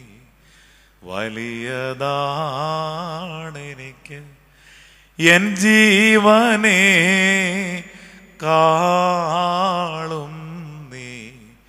വലിയതാണെനിക്ക് തുല്യം ചൊല്ലാൻ ആരുമില്ലേ? അങ്ങേപ്പോലെ യേശുവേ തുല്യം ചൊല്ലാൻ ആരുമില്ലേ? അങ്ങേപ്പോലെ യേശുവേ ജീവനേ സ്വന്തമേ അങ്ങേ മാർവിൽ ചാരുന്നു ഞാൻ. അങ്ങേ പോലെ സ്നേഹിച്ചിടാൻ ആവാതില്ല ആർക്കുമേ. അങ്ങേ പോലെ സ്നേഹിച്ചിടാൻ ആവതെല്ലാം ആർക്കുമേ? സ്നേഹമേ സ്വന്തമേ അങ്ങേ മാർവിൽ ചാരുന്നു ഞാൻ. ആരാധന ആരാധന ആരാധന. ആരാധന ആരാധന ആരാധന ആരാധന ആരാധന. എൻ പ്രേമ ഗീതമാം എന്നേശു നാദാനീ എൻ ജീവനേ കാളും വലിയതാണെനിക്ക് എൻ ജീവനെ കാളും നീ വലിയതാണെനിക്ക്. അപ്പോൾ ആദ്യത്തെ പ്രാർത്ഥന ദൈവമേ നിന്റെ തേജസ് എന്റെ മേൽ ഉദിപ്പിക്കണമേ. ഇന്നെല്ലാം നിങ്ങളുടെ മനസ്സിലൊരു മന്ത്രം പോലെ കാണാതെ പഠിക്കണം. രണ്ടാമത്തെ പ്രാർത്ഥന ദൈവമേ നിന്റെ ഹൃദയം എന്നിൽ പകരണമേ. സദൃശവാക്യങ്ങൾ പറയുന്നുണ്ട് മകനെ മകളെ നിന്റെ ഹൃദയം എനിക്ക് തരിക. എന്താ ഹൃദയം കൊടുക്കുക? ദൈവമക്കളെ നമ്മുടെ ബാഹ്യരൂപമേ മനുഷ്യൻ കാണത്തുള്ളൂ. നൂറ്റി മുപ്പത്തൊമ്പതാം സങ്കീർത്തനം. ദൈവമേ നീ എന്നെ ശോധന ചെയ്ത് അറിഞ്ഞിരിക്കുന്നു. ഞാൻ ഇരിക്കുന്നതും എഴുന്നേൽക്കുന്ന നീ അറിയുന്നുണ്ട്. എന്റെ നിരൂപണമൊക്കെ നീ ദൂരെ നിന്ന് അറിയുന്നു. അവസാനം പറയുന്നുണ്ട് വ്യസനത്തിനുള്ള മാർഗം എന്നിൽ ഉണ്ടോ എന്ന് നോക്കി ശാശ്വതമായ മാർഗത്തിൽ നീ എന്നെ നടത്തണമേ. നമ്മുടെ ധാരണ എന്റെ കുറ്റങ്ങളും കുറവുകളും ഒന്നും ആരും അറിയുന്നില്ല. ശരിയാ. പക്ഷേ നമ്മുടെ ഹൃദയം തമ്പുരാൻ തൂക്കി നോക്കുന്ന അതെല്ലാം ജീവന്റെ ഗ്രന്ഥത്തിൽ കുറിച്ചിടും. അപ്പോൾ ഓർക്കുക ദൈവമേ നിന്റെ ഹൃദയം എന്നിൽ പകരണമേ. മൂന്നാമത്തത് കുറച്ചുകൂടെ വലിയ പ്രാർത്ഥനയാണ് ഈ രണ്ടു വരി ഓർമ്മയുണ്ടോ? ഒന്ന് ദൈവമേ നിന്റെ തേജസ് എന്റെ മേൽ ഉദിപ്പിക്കണമേ. രണ്ട് ദൈവമേ നിന്റെ ഹൃദയം എന്നിൽ പകരണമേ. മൂന്ന് ദൈവമേ എന്റെ ഉൾക്കണ്ണുകളെ പ്രകാശിപ്പിക്കണമേ. ദൈവമക്കളെ ഈ ദൈവവചനം വായിക്കുമ്പോൾ ഒരു പ്രാർത്ഥനയുണ്ട്. എന്താ? കർത്താവെ നിന്റെ ദൈവീക മർമ്മങ്ങൾ ഗ്രഹിക്കുവാൻ എന്റെ മനോനയനങ്ങളെ പ്രകാശിപ്പിക്കണമേ. ഞാൻ ചോദിക്കട്ടെ എല്ലാവരും ബൈബിൾ വായിക്കുന്നവരാണ് ബൈബിൾ വായിക്കാത്ത ആരും ഇവിടില്ല പക്ഷെ ഓരോ പ്രാവശ്യം ബൈബിൾ വായിക്കുമ്പോഴും അതിന്റെ ആന്തരികമായ അർത്ഥം കിട്ടുന്ന എത്ര പേരുണ്ട്? അതാണ് ഉൾക്കണ്ണുകൾ. നമ്മൾ പോലും ടെൻഷൻ അടിച്ചിരിക്കുമ്പം നമ്മൾ അന്ന് വായിക്കുന്ന വേദഭാഗത്തിൽ നമ്മൾ അറിയാതെ സാന്ത്വനപ്പെടുത്തുന്ന കുറേയേറെ വാക്യങ്ങൾ കിട്ടും. പക്ഷെ നമ്മുടെ ഈ കോളേജിലെ സ്കൂളിലേക്ക് പിള്ളേർ ചെയ്യുന്ന പരിപാടി എന്തെന്നറിയാമോ? പിള്ളേരുമായിട്ടൊക്കെ പ്രേമം ഉണ്ടാക്കിയിട്ട് ഒരു സുവിശേഷപ്പെട്ടി എടുത്തു വെച്ചിട്ടുണ്ട്. എല്ലാം അതിരുന്നോട്ട് കുഴപ്പമൊന്നുമില്ല. അതിൽ നിന്ന് ഒന്നങ്ങ് എടുക്കുക ഇത് കിട്ടുന്ന നല്ലത് കിട്ടുന്നവരെ അങ്ങ് എടുക്കും. അങ്ങനെ എടു അങ്ങനെ ലക്കി ഡ്രോ എടുക്കാനുള്ളതല്ല ദൈവദിനം പണ്ട് ഒരാൾ കുറച്ച് പണം വാരി കൂട്ടിയിട്ട് ഇതുപോലെ ഒരു സുവിശേഷപ്പെട്ടി എന്നൊരു വാക്യം എടുത്തു. ആ വാക്യം ഇതായിരുന്നു. യൂത പണം കൊണ്ട് കെട്ടി തൂങ്ങിച്ചത്തു എന്നിട്ട് അടുത്ത വാക്ക് എടുത്തു നീയും പോയി അങ്ങനെ തന്നെ ചെയ്യാൻ. ഇപ്പൊ ഈ തരത്തിൽ ലോട്ടറി എടുക്കരുത് ദൈവവചനം. ദൈവവചനം ആ ബൈബിൾ ഞാൻ പറയുന്നു നമ്മുടെ പേഴ്സണൽ ബൈബിൾ ആരുടെയും കൊടുക്കുകയും ചെയ്യരുത്. ഈ പണ്ടത്തെ മാതാപിതാക്കളൊക്കെ ശവസംസ്കാരത്തിന് മുമ്പിട്ട് അവർ മരിക്കുന്നതിന് മുമ്പിട്ട് കാണാൻ കുറച്ച് നല്ല ഡയറിയും ബൈബിളൊക്കെ എടുത്ത് മക്കളെ ഒന്നുകിൽ എന്റെ തലക്കട വെച്ചേക്കണം. അല്ലെങ്കിൽ നീ പള്ളിയിൽ ജന്മപെരുന്നാളിന് കൊണ്ടിടണം. അല്ലെങ്കിൽ മക്കൾക്ക് അത് കൊടുക്കും. അത് വലിയ അവിടെ കണ്ണുനീരിന്റെ തിരുവചനമാണ്. കാരണം നമ്മുടെ ഈ നമ്മുടെ ഉൾക്കണ്ണുകൾ തേജസ്സായി മാറുന്ന ദൈവവചനം വായിക്കുമ്പോഴാണ്. ഞാൻ ഇപ്പോഴും ഞാൻ ആദ്യം പറഞ്ഞ വരി ആവർത്തിക്കട്ടെ. നിങ്ങളുടെ ഡയറിയിലോ ബൈബിളിലോ ഞാൻ എഴുതി ഒപ്പിട്ട് തരാം. അരമണിക്കൂർ ബൈബിൾ വായിച്ചു നോക്കി. എനിക്കറിയാവുന്ന പ്രായമുള്ളൊരു അപ്പച്ചനുണ്ട്. എൺപത്താറ് വയസ്സിലാണ് അദ്ദേഹം മരിച്ചത്. അത് വലിയൊരു അത്ഭുതമൊന്നുമല്ല. പക്ഷെ എൺപത്താറ് വയസ്സ് വരെ പുള്ളി കണ്ണാടി വെച്ചിട്ടില്ല. പുള്ളി പറഞ്ഞത് പ്രായം ചെല്ലും തോറും കണ്ണിന്റെ കാഴ്ച കൂടിയെന്ന. അതിലൊരു മരുന്ന് എന്തെന്നറിയാമോ? എല്ലാ ദിവസവും വൈകിട്ട് അദ്ദേഹം നാലു മണി മുതൽ അഞ്ചു മണി വരെ ബൈബിൾ ബൈബിൾ വായിക്കും. അപ്പൊ അതിന്റെ അർത്ഥം ഞാനും കണ്ണാടി വെക്കും ബൈബിൾ വായിക്കാത്ത കൊണ്ടല്ല കണ്ണാടി വെക്കുന്നത് അതല്ല ആ കാഴ്ചപ്പാടില്ലല്ല പക്ഷെ ഇത് നമ്മുടെ വൈദികരുടെ ഓർമ്മയ്ക്കും കർത്താവെ നിന്റെ ജീവഗ്രന്ഥത്തിൽ സൂക്ഷിച്ചു നോക്കിയിട്ടുള്ള കണ്ണുകൾ അഗ്നിക്ക് നീ വിട്ടുകൊടുക്കരുത്. മനസ്സിലായില്ലേ? ദൈവമക്കളെ എന്റെ ശബ്ദം കേൾക്കുന്ന പരുമല പള്ളിയിലിരിക്കുന്ന എല്ലാവരോടും പറയട്ടെ. നിങ്ങൾ പരുമലയിൽ വന്ന് എത്ര കമന്നു കിടന്നാലും എത്ര നേർച്ചയോട് ഇട്ടാലും ഈ ബൈബിൾ അരമണിക്കൂറെങ്കിലും ആഴമായി വായിക്കാതെ നിങ്ങളുടെ ജീവിതത്തിൽ സമാധാനം കിട്ടത്തില്ല. അടുത്തിടയ്ക്ക് ഒരു ഹൈന്ദവ സഹോദരനെ ഞാൻ പരിചയപ്പെട്ടു. പുള്ളി എന്നോട് പറയുകയാണ് അച്ഛാ ബൈബിൾ പതിനൊന്ന് പ്രാവശ്യം ഞാൻ വായിച്ചെന്ന്. ആ കണക്കിനെ എത്ര പേർക്ക് പറയാൻ പറ്റും? ഇപ്പൊ എല്ലാവരും പറയാറുണ്ട് അച്ഛാ വാട്സപ്പും ഫേസ്ബുക്കിലും ഒത്തിരി ഇൻഫർമേഷൻ വരും. ഇപ്പം കഴിഞ്ഞ ആഴ്ച തന്നെ എന്റെ വാട്സപ്പിൽ ഒരാൾ അയച്ചിരിക്കുകയാണ് യഹോവ എന്റെ ഇടയനാകുന്നു. പുള്ളി അത് കഴിഞ്ഞ ആഴ്ചയിലും അറിഞ്ഞത്. അത് വേണ്ടെന്നല്ല. പക്ഷേ നമ്മൾ ഈ വരുന്ന ഇൻഫർമേഷന്റെ പത്തരട്ടി ബൈബിളിനകത്തില്ലേ? ഈ ലോകത്ത് ഒരു ഇൻഫർമേഷൻ തരാത്തതിന്റെ പത്തരട്ടി നമ്മുടെ ബൈബിളിലുണ്ട്. പക്ഷെ ഇത് വായിക്കാത്തത് കൊണ്ടാണ് നമ്മുടെ ആന്തരികമായ കണ്ണുകൾ തുറക്കാത്തത്. അതുകൊണ്ടാണ് ഞാൻ നിങ്ങളെ ഈ പ്രാർത്ഥന പഠിപ്പിച്ചത്. മൂന്ന് പ്രാർത്ഥന മറക്കരുത്. ഒന്ന് എന്റെ കൂടെ എല്ലാവരും ഒന്ന് പറഞ്ഞേ ദൈവമേ നിന്റെ തേജസ് എന്റെ മേൽ ഉദിപ്പിക്കണമേ. ഒരുമിച്ചൊന്ന് പറഞ്ഞേ ദൈവം. പുരുഷന്മാരും പറഞ്ഞ നിങ്ങളുടെ ജീവിതത്തിൽ ഈ പ്രാർത്ഥന മറക്കരുത്. ഞാൻ ആഴമായ അനുഭവത്തിൽ ഞാൻ ഈ പറഞ്ഞിരുന്ന പ്രാർത്ഥനയാണ് ദൈവമേ നിന്റെ തേജസ് എന്റെ മേൽ ഉദിപ്പിക്കണമേ. പറഞ്ഞേ. ദൈവമേ നിന്റെ ഹൃദയം എന്നിൽ പകരണമേ. ദൈവമേ എന്റെ ഉൾക്കണ്ണുകളെ പ്രകാശിപ്പിക്കണമേ. ഇനി ഒരു പ്രാർത്ഥന കൂടി പറഞ്ഞുകൊണ്ട് ഞാൻ അവസാനിപ്പിക്കാം. ദൈവമേ നിന്റെ വഴികളിലൂടെ എന്നെ നടത്തണമേ. പറഞ്ഞേ. പ്രിയമുള്ളവരെ അത് ഞാൻ സ്ഥിരം പറയുന്ന ഒരു വാക്യമാണ് കേട്ടിട്ടുള്ളവർ ഒന്നുകൂടെ കേൾക്കുക. സദൃശ്യവാക്യം പതിനാല് പന്ത്രണ്ടും പതിനാറ് ഇരുപത്തി അഞ്ചും അത് രണ്ടും ഒരു വാക്യമാണ് പതിനാല് പന്ത്രണ്ടും പതിനാറിന്റെ ഇരുപത്തി അഞ്ചും രണ്ടും ഒരു വാക്യമാണ് there is a way which seems to right a man but it ends the way to death ഒരു വഴി മനുഷ്യന് ചൊവ്വായി തോന്നും.